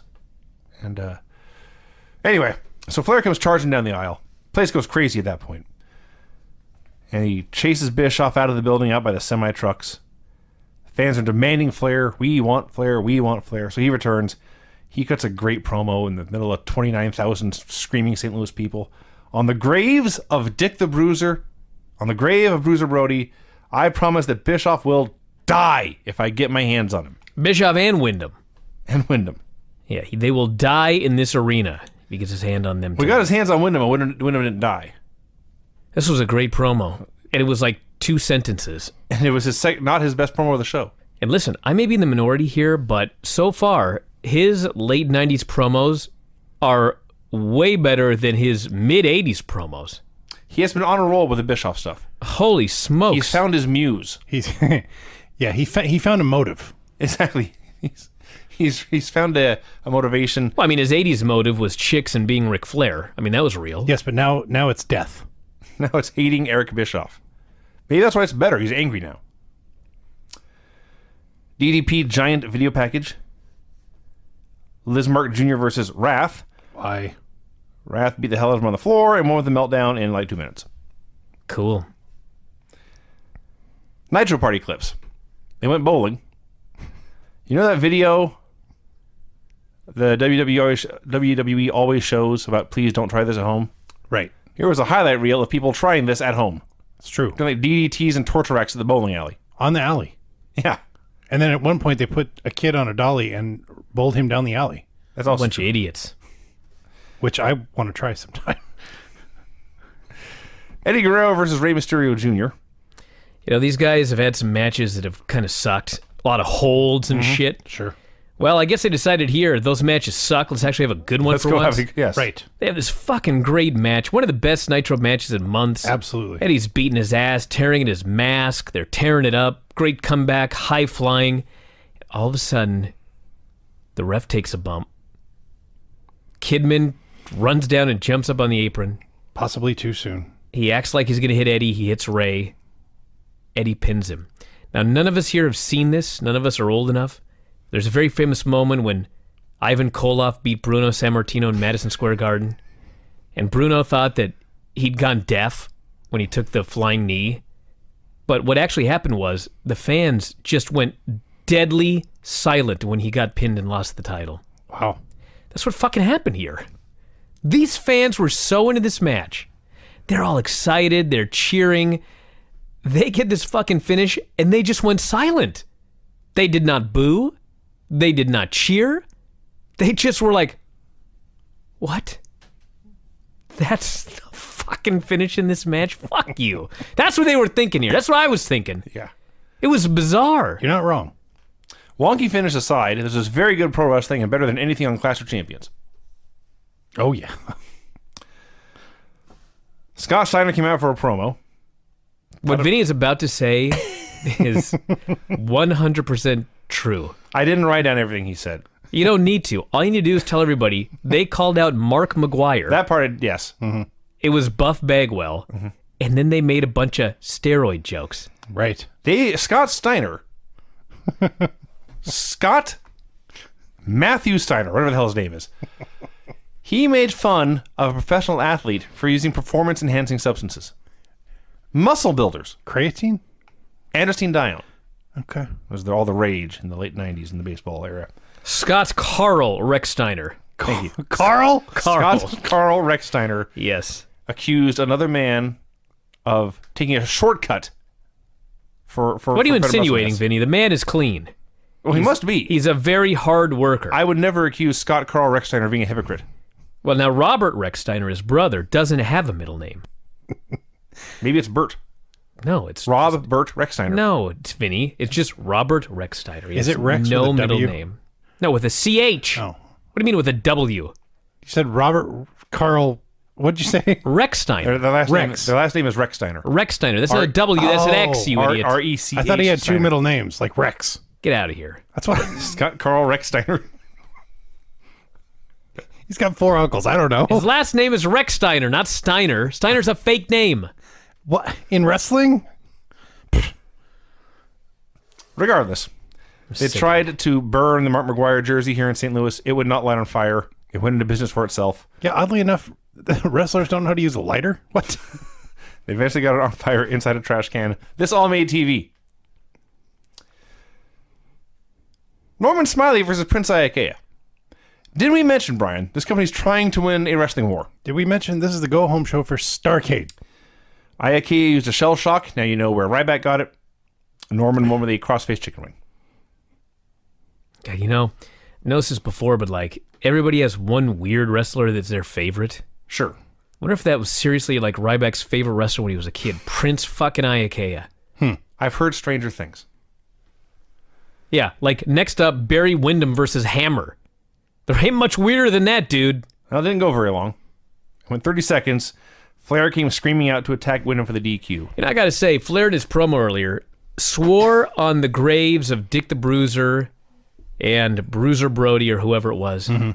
that if he got his hands on Barry Windham or Eric Bischoff, he would kill them in this arena. I thought, man, that's a serious threat. Maybe shouldn't have said kill. He fucking comes out here and tries to kill Barry Windham. He beat the shit out of this guy.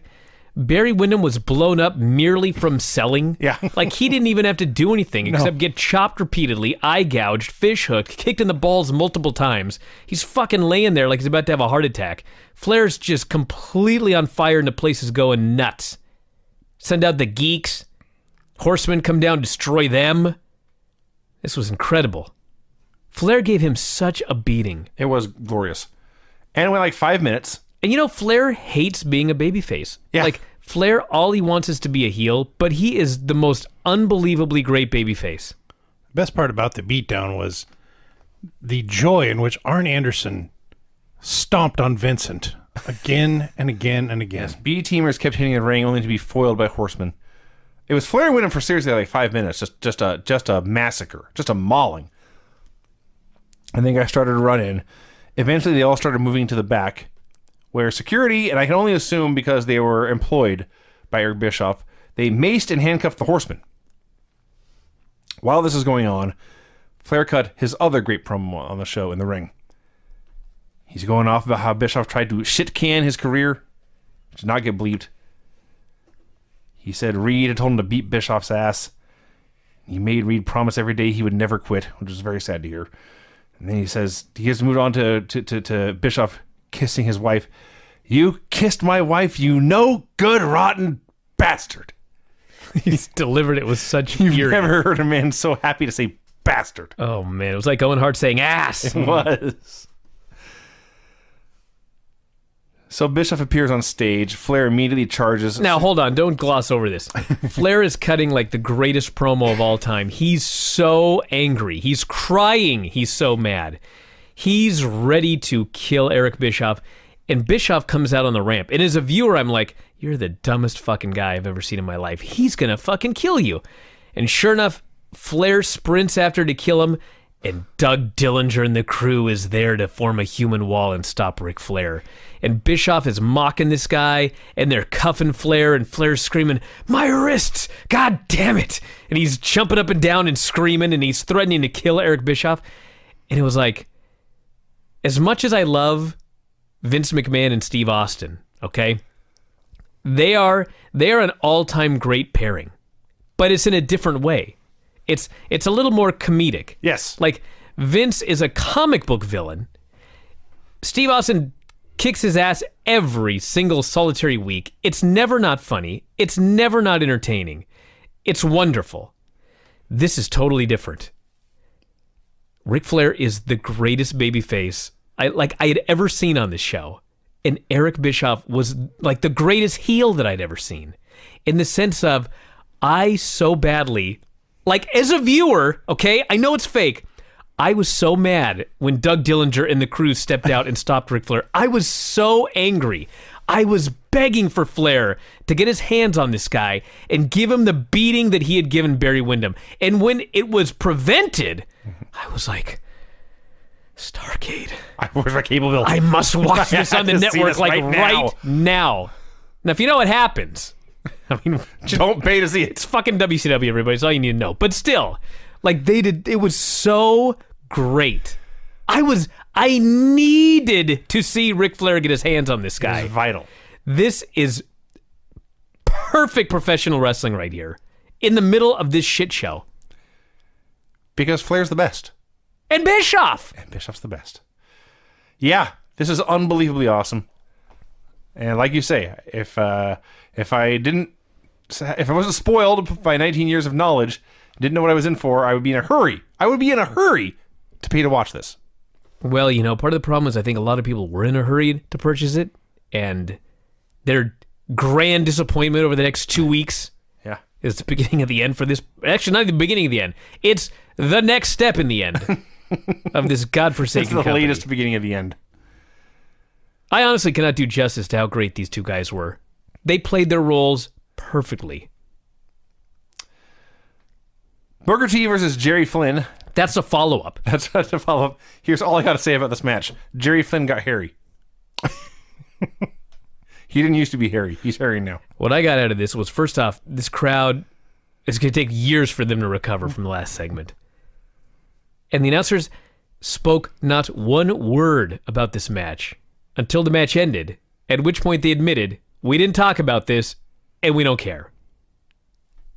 All right. So we had an, uh, an amazingly great segment. We had a nothing match, and now it's time for some classic WCW stupidity.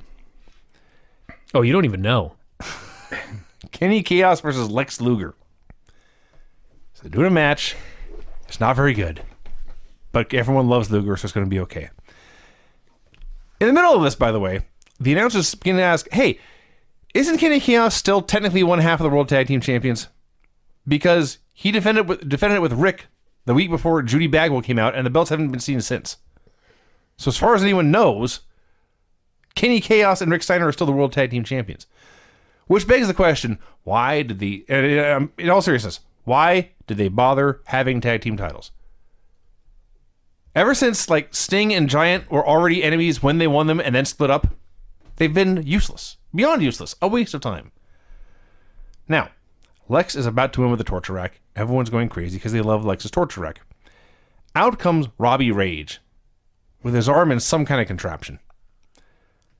So Kaos is going to lose anyway, but Robbie Rage has to distract him.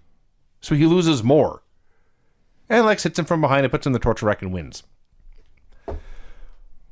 Couldn't just have Lex win. You needed this distraction finish by a guy with one arm. So then Rage and Kaos bicker. High voltage explodes, and we're supposed to care. What happened here?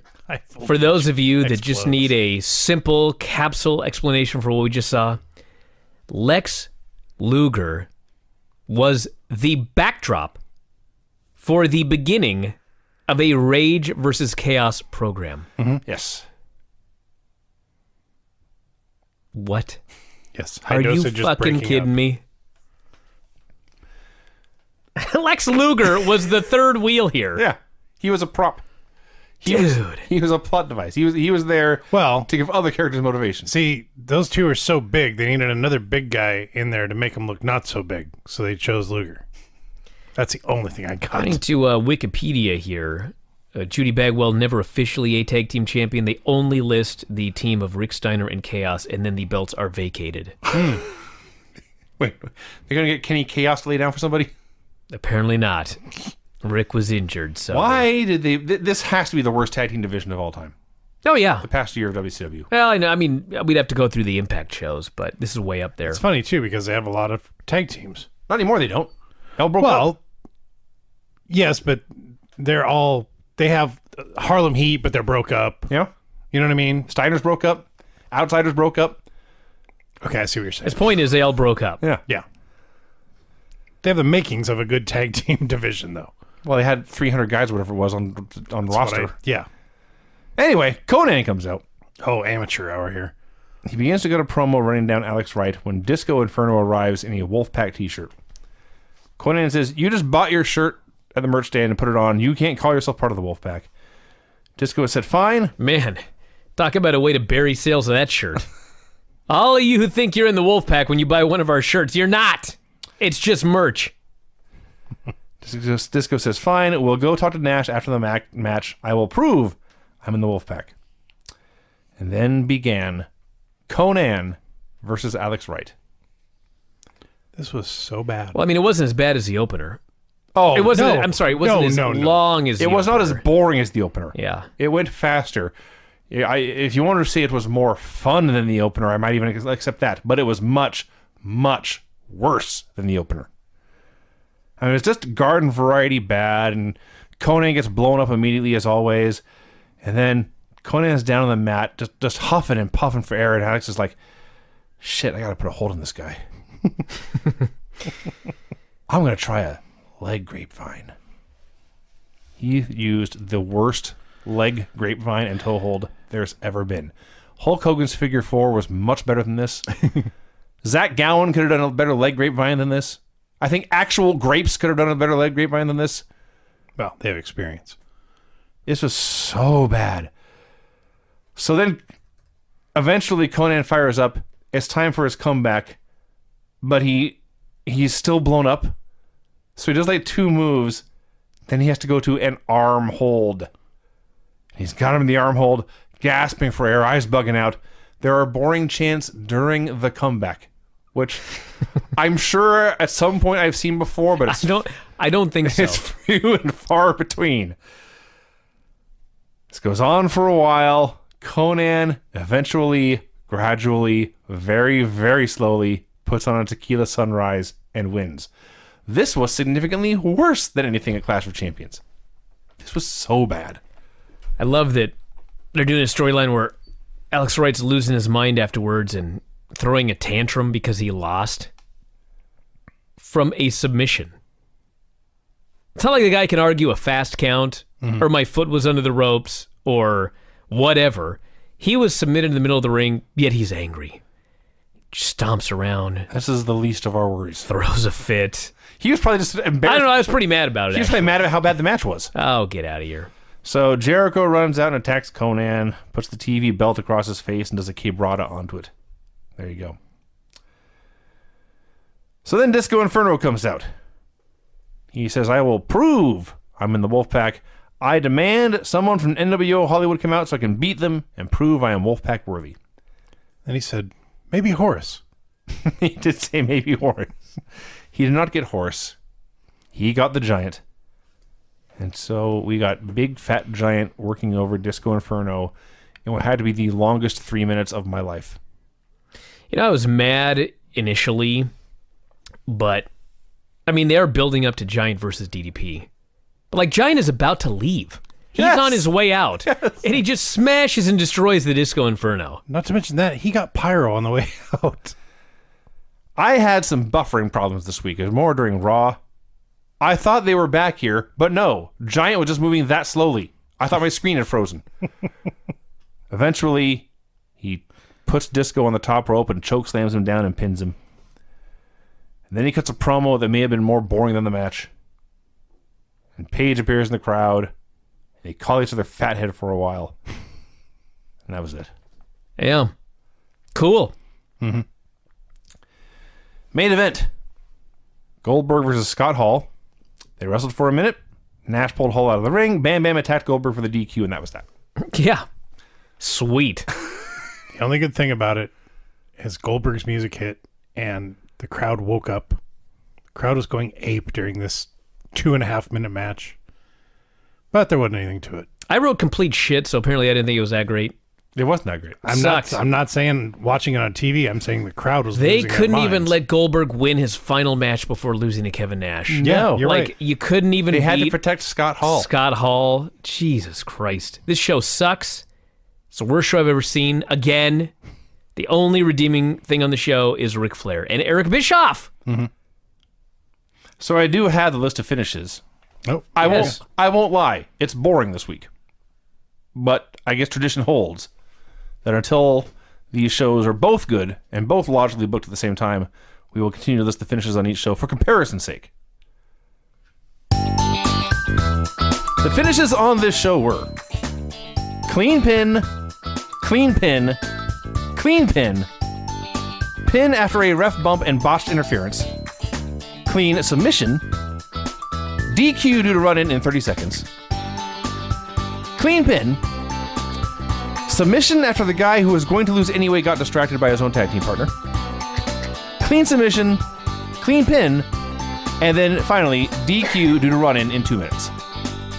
Thank you for the loud sneeze in the middle of that. I Craig. apologize. I tried to do it off mic, but it didn't work. There you go, everybody. WCW Monday Nitro 171, December 20. That's the wrong one. 172. Hey, are you know are you aware what day this was? The day after Starcade. Starcade. The day after the streak ended. What happened at Starcade? Lots of stuff. But What was the big thing that happened at Starcade? The Starcade? biggest thing that happened at Starcade, according to this show, was uh, Eric Bischoff beating Ric Flair. yeah. but there's the most- also a new world champion. Casually mentioned, oh, by the way, the streak is over and there's a new world champion. And by the end of this show, that whole thing about Ric Flair and Eric Bischoff, it didn't matter. Listen, I'll say one thing, okay? The payoff at the end of the show was awesome. Yes. Yeah. Okay. So, given that that was the payoff at the end, they should have been building up throughout the show that Eric Bischoff had beaten Ric Flair at Starcade. Okay? I'm fine with that. But you're opening up the show, and the big story is not that Goldberg's streak was broken after 173 straight wins and Kevin Nash is the champion. Are you kidding me? Goldberg never appeared on this show. Nope. Well, you got shot with a cattle prod. He could be dead. I suppose so. So, correcting myself from earlier, this is Nitro 172, December 28th, 1998. So, they open with clips of Eric Bischoff in the limo after Starcade, and Bagwell's in there, and Scott Steiner and Curt Hennig, and they're all celebrating the big win over Ric Flair. They go to the announcers, and Mike Tenay calls Starcade, and I quote, a historic and disappointing night. in hindsight, that's even more true. And he's right. Yeah. Talked about Bischoff and Bischoff and Bischoff and Bischoff, and oh, by the way, Goldberg streak is over and Kevin Nash is world champion. Let's talk about Eric Bischoff some more. And then we got a Bischoff and Power video package. The same one. yep. It wasn't even a new one. They just replayed the same one from last week. Five more minutes of Eric Bischoff. minutes on end. This just kept going. Go to commercial. Clips of the Nitro party that won the contest for best party. Excuse me, hold on a second. So Starcade happened, mm-hmm. And then they opened with Eric Bischoff talk, mm-hmm. and then a Bischoff video package. Yes. and then they went to Nitro party footage. That's what happened. Okay, just check it. Yeah. Because that seems pretty stupid. Kinda. They had cookies and they had hot dogs and they threw a guy in a pool. What's next? Shat? No, the cat. Well, it was the Shat. He came out next. 12 minutes in, and he is out there for a promo. At this point, they very casually mentioned not only is Goldberg streak over and he's no longer the world champion, Scott Hall used a taser on him to subdue him and give Kevin Nash the A title. cattle prod. Cattle prod. Stun gun. They used all sorts of terms Right. throughout the show. I don't think they knew what he got him with. They even got an expert on later on. They did. Oh, oh, well, that guy. Oh, we'll get to him. So, Cat calls all the fans ugly, says he wants to whip somebody tonight, and Chris Jericho and Ralphus appear with Shima, making his Nitro debut. He's acting very, very shy. Jericho was saying, "No, no, you can fight this guy." He's making fun of his the last name Nobunaga, I believe it was, Nabunaga. or this Jericho called him Nobunaga Ding Dong and all that stuff. So, anyway, Cat versus Shima. Cat destroyed him one one with a kick. The Great Shima was put away in less than 45 seconds. Mm-hmm.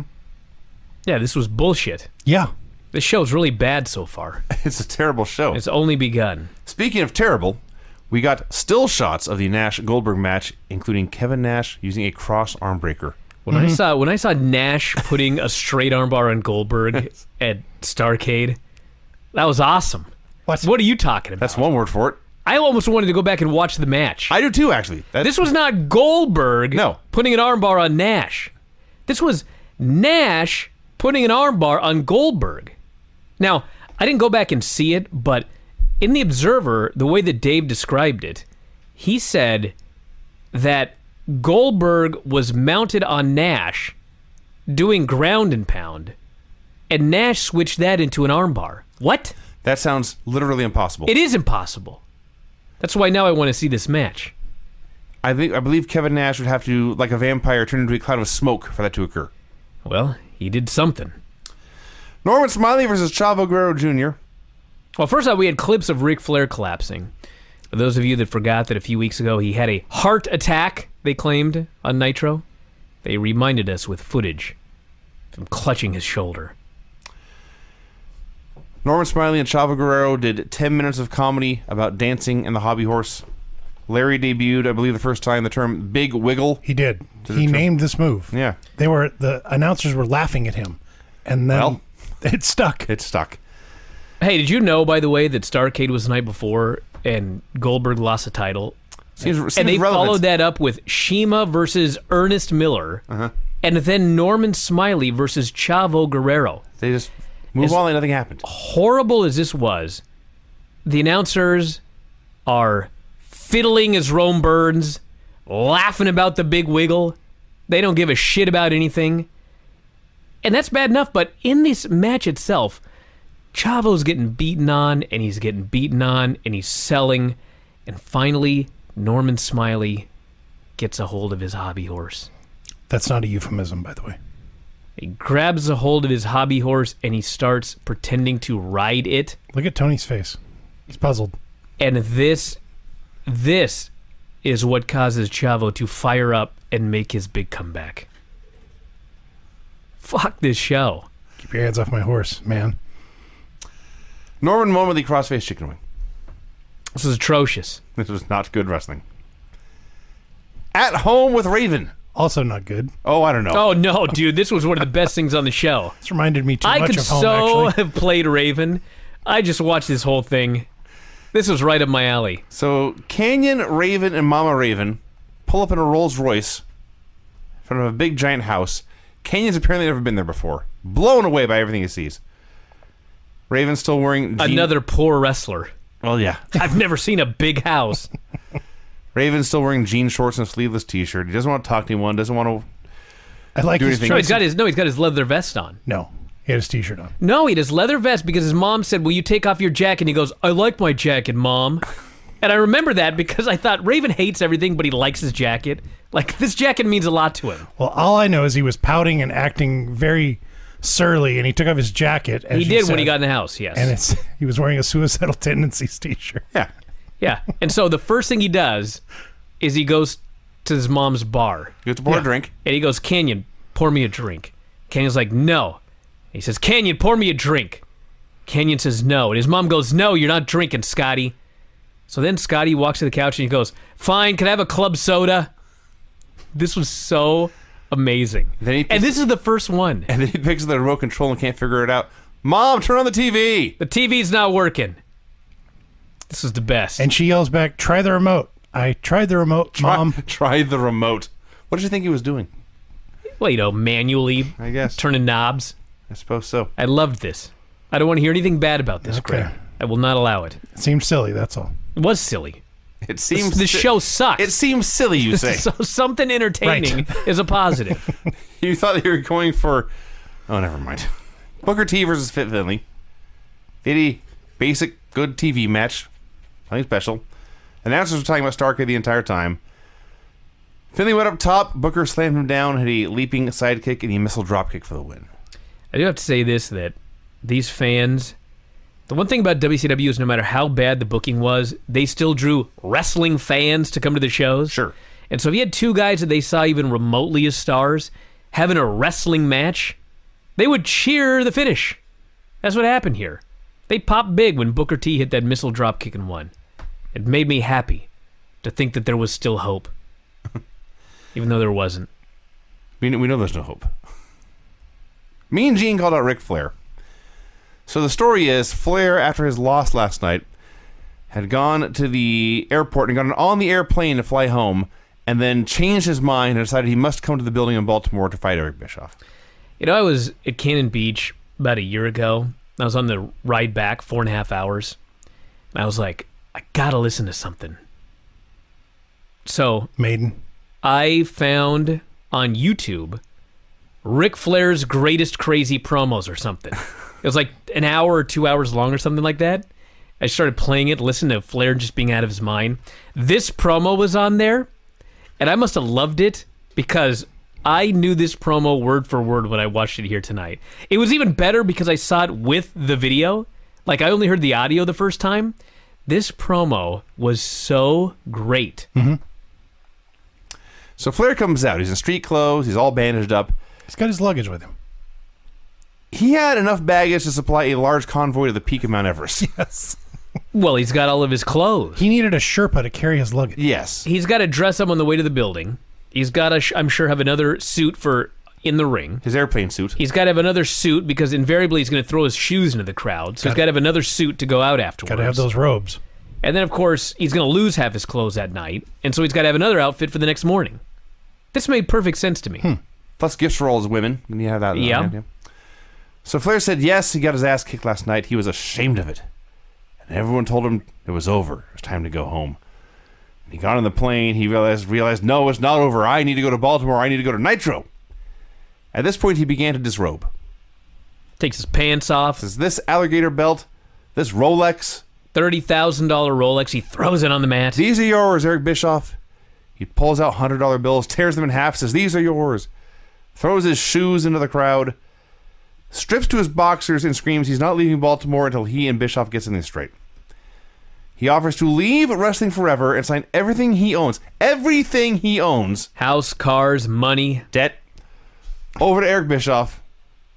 If uh, if Bischoff would fight him tonight, however, if Flair could beat Bischoff, then he would run WCW for 90 days. He handcuffed himself to the ropes and promised, "If you go to commercial, when you come back, I'm gonna be nude." They went to commercial, and I said, "Oh no." Thankfully, he was bluffing. So Bischoff comes out. He says Flair was nuts. He's gonna have a heart attack. Flair said, "If I have a heart attack, it's gonna be on your girlfriend." They went back and forth a bit.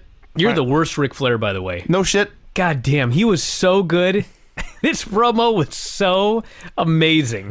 Let me write that down. Vinny cannot deliver a promo. like Oh Ric my Flair. God, come on! are all kinds of things not as well as Ric Flair. Come on now. So, eventually, Bischoff accepted Flair's challenge. This this one you can probably do. Bischoff's promo. I probably could. He had nothing to say and it was very boring. Yeah.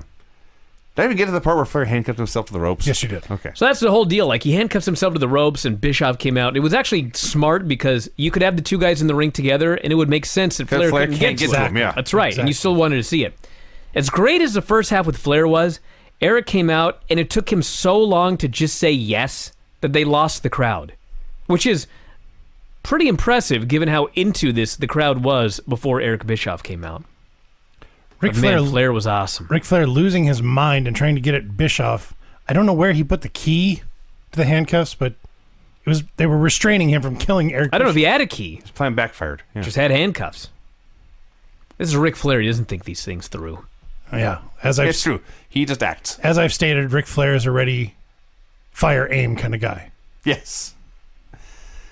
Barry Windham versus Prince Iaukea. You kidding me? This actually happened. God, this show's terrible. Crowd's dead. Match is boring. They followed Ric Flair taking his clothes off and throwing his shoes into the crowd with Barry Windham versus Prince Iaukea. It wasn't very good. It sucked. It was a, a short squash match. The big man beat the little man and won. I had completely forgotten. I, I realized I knew Barry Windham had done some stuff on Nitro. I had forgotten he was a regular for several weeks. Well, like two weeks ago, Ric well, he Flair, was till he becomes that tag team. Ric Flair beat him up two weeks ago and sent him packing because Bischoff brought him in to beat up Flair. Yes. They recapped Nash Goldberg again and showed Scott Hall tasing Goldberg. Mean Gene then interviewed a member of security. This is amazing. Can I can I take this over here? Why don't you? Gene Okerlund has the opportunity to interview a SWAT team sergeant Right. because last night Goldberg was zapped with some weapon. It may be a cattle prod. It may be a taser. We don't know. I was a little un- unclear. Was he a security guard and a member of the SWAT team? He was he was a Well, the- SWAT team sergeant. yes, but he was also wearing a security Yes. uh, polo. Yes. So, yeah. So Gene has the opportunity to interview this man. This man says, "This this here cattle prod, it's very powerful Right. and it can do a lot of damage." And Gene says, "Well, if it'll drop a two thousand pound Brahma bull, what might it do to a human?" And he says, Oddly, nothing at all. you could short circuit a person's nervous system and do serious damage. Gene then says, Could this cattle prod be the reason that Goldberg is no longer the champion? This man says yes. Yeah. Call it a hunch. And that's it.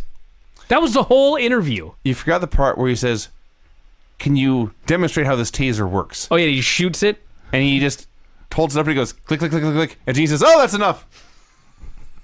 From the sound alone, he could tell how dangerous this was. This is incredible. Were tasers new in 1998? Well, hey, listen. At least they made a big deal out of the fact that Goldberg got tasered, and they were telling you, the viewer, That's how true. dangerous this That's was. true. That's true. But it was just my point is, what a stupid interview. Yes. Okay, you can interview a guy about a taser. Come up with some questions. Okay, what could it do? Is it dangerous? Mm-hmm. Could it have beaten Goldberg? yeah. That's your fucking question. Interview over. How about how much could it kill a man? Mm-hmm. That's important, right? Will Goldberg ever come back? Will he come back? sure. Is he electrified forever? Is he hospitalized right now? Could he be in critical condition? Did this scramble his How brain? about instead of interviewing some fucker about a cattle prod, you interview Goldberg's doctor? Hmm. Did Goldberg suffer the permanent damage to his nervous system you say can happen with these things? Did Goldberg soil himself? I mean, that is a good question. I'm glad it wasn't asked. But these are all better questions than Gene came up with here.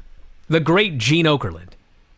Had a commercial for WCW NWO Revenge, one of the all-time great pro wrestling video games. Probably the best. Well, the the, the No Mercy and WrestleMania 2000 games that Okay. piggybacked on it were better, but this is the best WCW game for sure. And then Mean Gene interviewed DDP. DDP called it a stun stick. Yeah. He talked about his win over the Giant for like 30 seconds and then moved on to hyping up Flair and Bischoff for like two minutes. I always love it when a Actually, girl- before he did that, like right before he starts talking about Flair, he just throws out one line Nash, you should do the right thing. And then he just moves on. Well, what would that be? I don't know. Give the guy the belt back? Yes. Give him a rematch? It's an important detail. So I always love it when a grown man, a professional combatant, is given a microphone and he won't let himself say the word ass. Oh, yeah, we had a lot Eric of that. Bischoff, Ric Flair is gonna kick your, and he holds the mic out. Hey, I loved in Flair's promo where he's so angry. He's he's thrown his thirty thousand dollar Rolex down into the ring. He's offering to sign away his house to Eric Bischoff and everything that he owns. He's stripping down to his underwear and is threatening to strip himself completely naked. And Bischoff finally comes out and Flair says, and I quote, I can't swear, can I? I missed that part. That's what he said. I need to go back and check. And Eric says, No, you can't. it's like, you just fucking killed the angle right here, you two idiots. I can't swear. Really? That's what he said. I need to said. go back and watch this. Yeah. Show you my schwanz, but I'm not going to curse. Konnan was telling Disco Inferno to take his Wolfpack t-shirt off backstage. Nash walks up. Wait a second. Excuse me. Nash walks up? Kevin Nash, the new You're world telling me the first appearance of Kevin Nash after ending Goldberg's streak is a segment with Disco Inferno? and Konnan. He walks up. Seems fucking stupid. He walks up in jeans and a hockey jersey. Just a regular guy, except a little taller than normal. No indication he is the new champion of the world and the biggest star in the sport. He cuts a rambling promo. He's upset. He's upset, you see, because Disco Inferno stuck his nose into the match. Now there's a black cloud hanging over Kevin Nash's title Oh, reign. no. It's all Disco's fault. He's disappointed in being In champion this now. company, Did you notice he had a booking sheet? there in his wasn't a clean finish. He did, in fact, have that. and then he says, uh, tell you what, I will get you booked at a match. And if you win, fine, we'll put you in the Wolfpack. You can prove yourself. So Nash, on camera, is a booker now. They did later say he went to the WCW committee and got the match booked with his influence as world champion. Whoop de doo. Pics of Juventud, Rey, and Kidman in Starcade, which Tony Schiavone called the best triangle match in WCW history. Hmm. We had So if you didn't watch Starcade, they they really tried hard to make Kidman a star. He like won two big matches. They pushed him hard. So they come out here. It's Rey and Kidman versus Juvi and Eddie Guerrero. Okay. If you didn't watch Starcade, was there any indication whatsoever that they tried to make Kidman a star the night before? no. How about the finish? The the crowd did pop for him bigger than anybody else. Uh, the finish was uh, after everything in the world fell apart. Eddie said, "Fuck this," and he pinned Kidman with a frog splash. That is what happened. Vinny, I should make you watch the opener on Raw this week if you think this fell apart. John Cena and the Drifter. That sounds terrible. John Cena's first match, his first singles match since the Roman Reigns match like two and a half months ago, three months ago. They went 16 fucking minutes. Oh dear. Yes, they did. And during the near falls at the end, they got a this is boring chant, to which John Cena immediately just took it home. It was, this match was horrible. I don't blame him. Oh Well. my god! Now this match here, so they explain three of the four guys are in the LWO. Rey doesn't want to be. But he is. Juvi and Eddie are in there, Yeah. and Kidman's a white guy, so Yes. he's Disqualified, yeah. Yes. So they have this fucking match where like guys aren't getting along with each other. They're trying to have a great match, but still do the stupid storyline that WCW wants, built around something nobody cares about, the LWO. They have a couple of great high spots, and then at the end of this match, everybody's in everybody else's way. Uh-huh. Juvi's trying to hit the ropes to do a dive, and Eddie's standing right in the middle of the ring. And the ref. Hoovy shoves Eddie out of the way to run and do the dive anyway. This was a mess. Mm-hmm. So Kidman's on. First of all, they had both, all four guys have been in the ring for like five minutes, and they're, they're all the, they're all staring at each other, trying to figure out who needs to be in what position. Kidman goes up top. Rey charges at Eddie. Eddie throws him over his head. Rey and Kidman go bonk. Kidman goes to the floor. Rey goes to the mat. The action stops, and Eddie just grabs Rey and throws him out. Just, just leave. Just get out of this ring right now. By the way, we were 15 minutes in by this point. It had been a very bad 15 minutes. This is not a good match that fell apart at the end. This is a match that started off cra- crappy and stayed that way. So yes, finally in the end, Eddie just pinned Kidman with a frog splash. I missed anything in this? No. It went on for a no, long it was time. very, very long.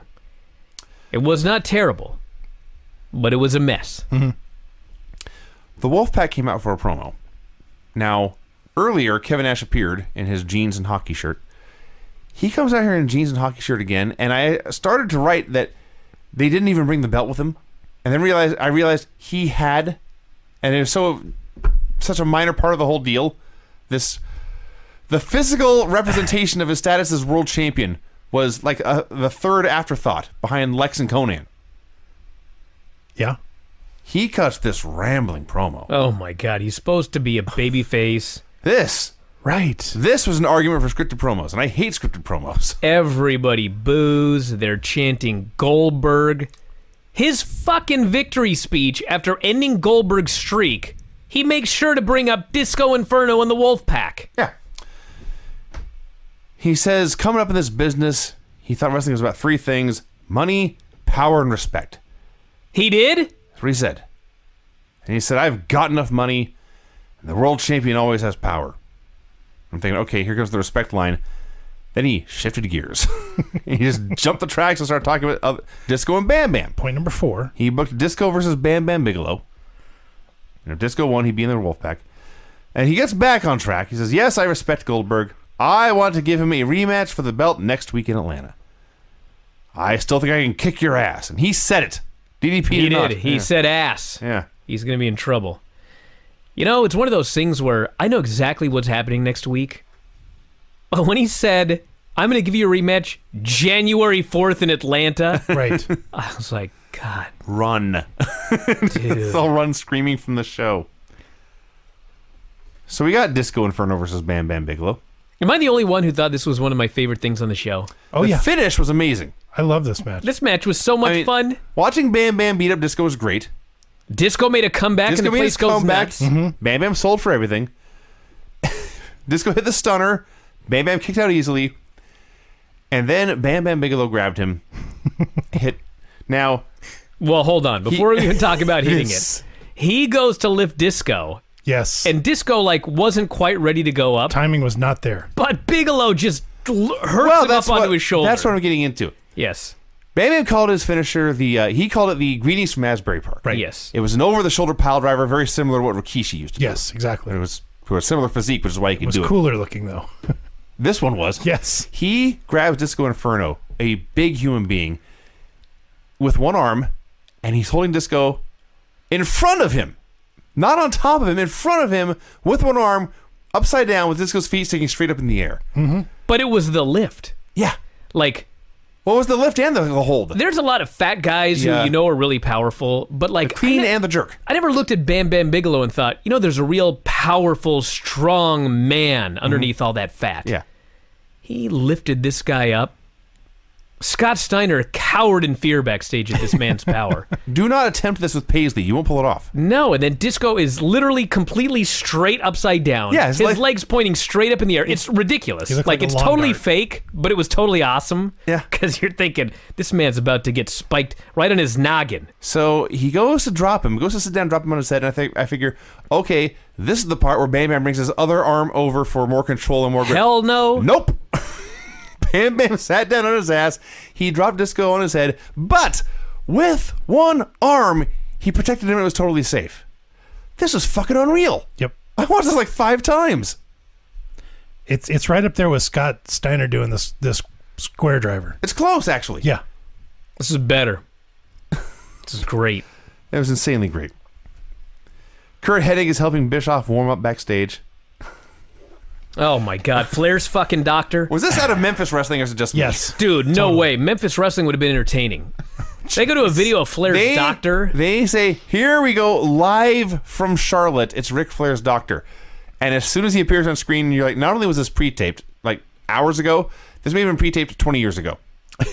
he's blurry, he's out of focus.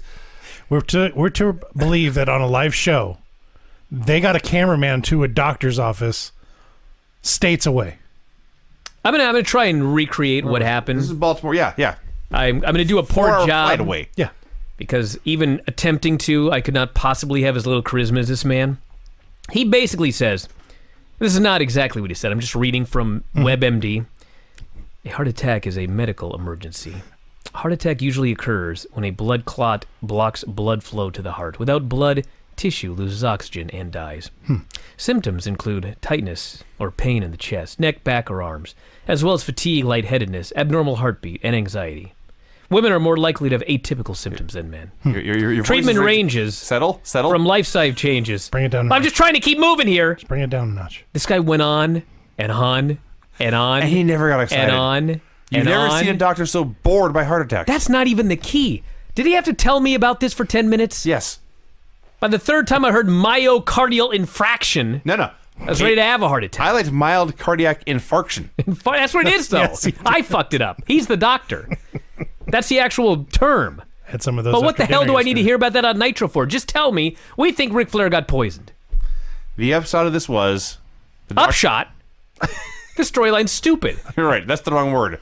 The end result of this was the doctor says Ric Flair was poisoned. And then it's so fucked up, okay?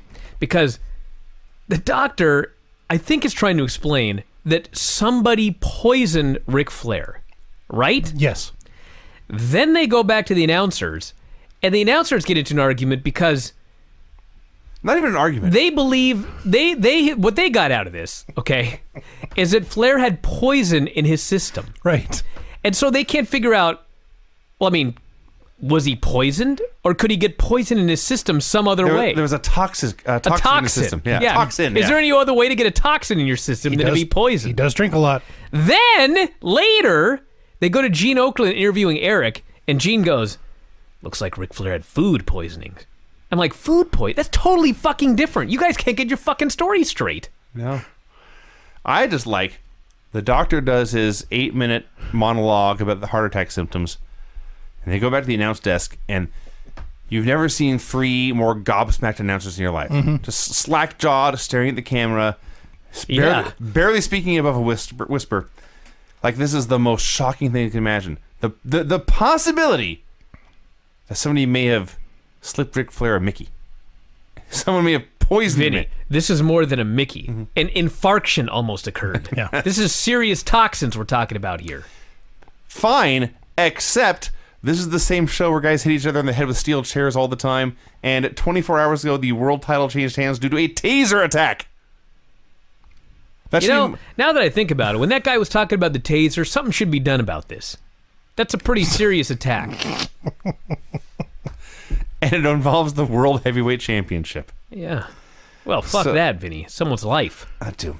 Gene goes to interview Bischoff, who says the word quack 47 times, denies doing anything wrong. And he calls him a cow doctor or like a pig doctor or something. All, sorts of But animals. he's also a The quack. whole damn barnyard got this was there. like old McDonald. Scott Steiner versus Konnan. Konnan is doing his spiel. Buff Bagwell steals the mic to interrupt, but that it was all part of Konnan's plan. Because as Buff and Scott are flapping their mouths, Konnan beats up Scott Steiner's special referee.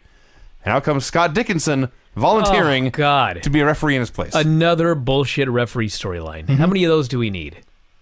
Like every month they got a new one. so Steiner beat up Konnan. It was very boring, but I will say this. I know where you're going. to his credit, because it was so boring, Konnan still had gas in his tank left. He could actually make a real comeback this week. No. No. Well, I mean, he made a good comeback, but the whole key was it didn't matter how blown up he got. Steiner just hoisted him up and put him wherever he needed him. That's also true. The, listen, here's the setup for the comeback. Steiner lifts him up, but then falls down with him on top of him. Yes. Konnan didn't have to do anything. No. No. Uh, you only had to make a quick comeback. Made his comeback, got through it all, hooks the tequila sunrise, but then no, nothing can ever be that simple. Bagwell interferes. Oh, compared to Rod, this was simple. Lex Luger's out there. It was too convoluted to write down, but Buff and Konnan somehow fell out of the ring together. And Steiner got Konnan back in the ring, hooked the Steiner recliner for the win. He is the new TV champion. so there were a lot of people before Starcade that were lobbying for Steiner to beat Goldberg. Steiner would be the man who ended the streak. I could buy that. He'd be top heel, another crazy fucker, and he'd be the champion. But instead, they go with Nash, and I guess as a make do, they made Steiner the TV champion, By the way, which is still fine. Buff Bagwell having to save Rick Steiner from a submission hold. I didn't buy that. I bet you Steiner could have got out of that. Scott I'm just Steiner. saying. Where's Rick? I'm sorry. We'll never know if he could have gotten out of that hole. The other Greg. Steiner. Rick Rechsteiner. It's his real name. No, Rob Rick Steiner. Robert, damn it. Rex is his middle name. We went over this. Tried a couple weeks comedy ago. callback and fucked it up. Scott Hall versus Brian Adams. Dude, Razor Ramon and fucking Crush. this was inconceivably bad. Dude. Okay, Hall may as well have been drunk. That's how bad this was. before things even get started, let's Oh, just, yeah. let's just establish what's going on and who these characters are. The biggest star in the sport up till about 24 hours ago was Bill Goldberg. Mm-hmm. Scott Hall cheated to screw Bill Goldberg out of the world championship And what was his motive? To help his friend Kevin Nash. Even though they're on opposite teams. So fans like Goldberg hate Hall, indifferent towards Nash, who is kind of a victim at this point. But then Hall, after screwing Bill Goldberg to help his friend Kevin Nash, says, I am not friends with Kevin Nash. Right? Right. Okay. Out comes Brian Adams from the NWO. Okay, I, I think we- I think you got it all right. I, I tried to condense it. So Hall cut a heel promo on Nash, Yeah. Yes. who people hate, but is supposed to be a babyface. Yes. Plus, he fucked over Goldberg with a cattle prod. This is Hall, not Nash. Right. and then he worked as a babyface in the match. Right. Correct. yes. Against the second worst NWO member. You know, this place went out of business. It's amazing, isn't it? So Brian Adams comes out there. Everyone hates Hall. Everyone hates Brian Adams. Hall was no was a good wrestler. Adams was not. They're doing this match. No one gives a shit. Gee, I wonder why. I know it's hard to believe, A bear hug followed by a nerve hold. dude. Okay, yes, yes. Uh, the, the the wrestling was uh, making the worst of a bad situation, but this could have been Angle and Benoit at their primes. The crowd still would have shat on it. So it's a terrible Curtis match. Miller. Yeah. It's a terrible, terrible, terrible match. I'm trying to figure out like who's on whose side. Why? Why were you wasting your damn time? Vinny's got a point. Who's on whose side? Who gives a shit? Well, you're right. this match was a waste of my life. Tony Schiavone. What's his reputation as an announcer? Fair, Now fair, or- or, fair or unfair? When people think of Tony Schiavone, what do they think of? Well, it depends. Well, let's go with over the top hyperbole. Okay. Okay. The, he earlier he said that Starcade three way was the best triangle match in the history. Okay, of he was he was prone to hyperbole. He would say things like the greatest moment of uh, in the history of our sport. Sure. About a non-title match with a run and finish. Things like that. He also calls a full arm dragon a twist, but there's no such thing. Go ahead. So Brian Adams. What does that have to do with anything? I don't know. It Go just ahead, bothers Vinny. me. Brian Adams goes to this pile driver, which we have all noted is a terrible, terrible move. His execution is awful And dangerous. and dangerous, and he does this move, and Tony Schiavone says, "That was almost a pile driver. He's, Almost a pile driver." Vinny, he's right. I know. For once in his life. I know. is, actually. But- Okay, but I what- see your point. The point is, when Tony Schiavone, of all people, is worried about maintaining credibility when calling your moves, you suck. So this match was awful. Then there was a bear hug. Then there was a nerve pinch. Then there was a chant for Razor. And Adams hits a press slam. He goes to the middle rope for the second time. And Hall hits the edge and wins. Thank God it's over. The only good thing on the show was the main event segment. This was great. Yeah. Ric Flair versus Eric Bischoff. First of all, I did not write down Buffer's uh, promo word for word, but talked about Ric Flair sacrificing all of his wealth, all of his riches, All of his wealth. all of his possessions down to the clothes on his back. That was awesome. So Flair comes out. They cut to the back where Bischoff is refusing to wrestle. He's going to the parking lot, going to his limo, going to leave. When he opens the door, the horsemen are waiting in the limo and they jump out and carry him down to the ring. Physically Yeah. carried him. So they carry him out there. They go to the break. When they come back, now Bischoff's in the ring. Flair just starts beating the hell out of him. NWO B teamers run down the aisle to make the save, but the Horsemen are there to whip their ass. Now, what's funny, if you're paying attention, there's three other Horsemen. Four if you count Arn, who ran out later. There's five or six B teamers. So everyone pairs off, but this guy's left over. So Curt Hennig runs out to make the save. He weaves his way through traffic, and he realizes, wait, there's no one between me and the ring now. He turns around and goes back to brawl with the Horseman. Yes. So I want to mention, by the way, that Macho Man Randy Savage. If you ever watched him in WWF, he looked looked a certain way. Sure. Have you ever watched him in Spider Man? Mm-hmm. Yes. He looked a different way. Yes. Absolutely. Okay. So we were watching these nitros and like all through 95, 96, I'm like, Macho still looks like WWF. Yep. Macho Man. Yeah. Absolutely. When does he blow up and look all weird? We found out. Fucking today. All right, now. This was the debut. Mm-hmm. Walks down the aisle with gorgeous George. Yes. He's got new hair. He's got a new body. He literally now looks like a cartoon character. Got two new no, new bodies because you see Gorgeous George. Well, it's another man entirely, but Yes. his transformation was like Chyna's when she came back. She went from like all big jawed and burly, and then came back and had a new face and a new body. That's exactly what happened to Savage here. Yeah. He could barely move. That's, that's another thing. He, he, as he is walking down the aisle, guys are passing him. Arn Anderson, a retired, a retired guy, runs by him. The Giant, who is big and fat, runs by him. Giant hits the ring, starts beating up Flair. Savage hits the ring. He plays nice with Giant, but then low blows him from behind, clotheslines him out of the ring. He leaves, Taking off his NWO shirt. tears off his NWO shirt. And Flair suplexes Bischoff. He styles and profiles. He hooks the figure four. place when he hit that suplex. Mm-hmm. Like there were so many fans that remembered that used to be his finish. Yeah. And they went nuts. And he starts dancing, and he goes for the figure four. They're on their feet, they're screaming, they're going crazy. Bischoff taps. This was awesome. And then everybody comes out. You got Tony Schiavone saying, "I gotta go be there for this." Tony Schiavone leaves the announce desk. Mm-hmm. Larry is in the ring. Dusty's in the ring. They're all celebrating with Booker Flair. T, DDP. All the baby faces. Flair drops an elbow, pins Eric again. The place is going nuts. Like this was, you know, what this was. This was a great ending to 1998 Yeah. in WCW. When you look at like everything that went down this year, everything that went down with Eric Bischoff and Ric Flair, and you think about God, the storyline they did with Eric and Rick, and Eric beats the guy at Starcade. Are they out of their minds?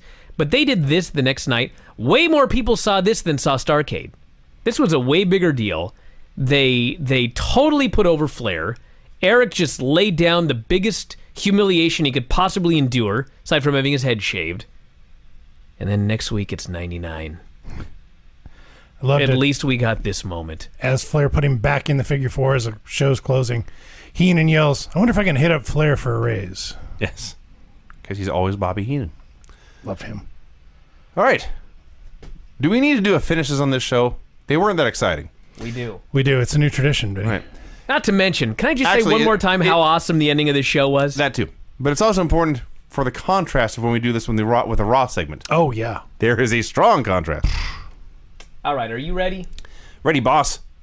Fuck's the music. The finishes on this show were clean pin and a squash, clean submission after assorted hobby horse related tomfoolery, clean pin, clean pin, clean pin in a horrible tag match, clean pin. That's a lot of clean pins so far. I told you it was kind of unnecessary. Submission win after interference by two dudes, one for each guy. A clean pin, finally in the main event. Submission win after interference by dozens of men and the return of a major star.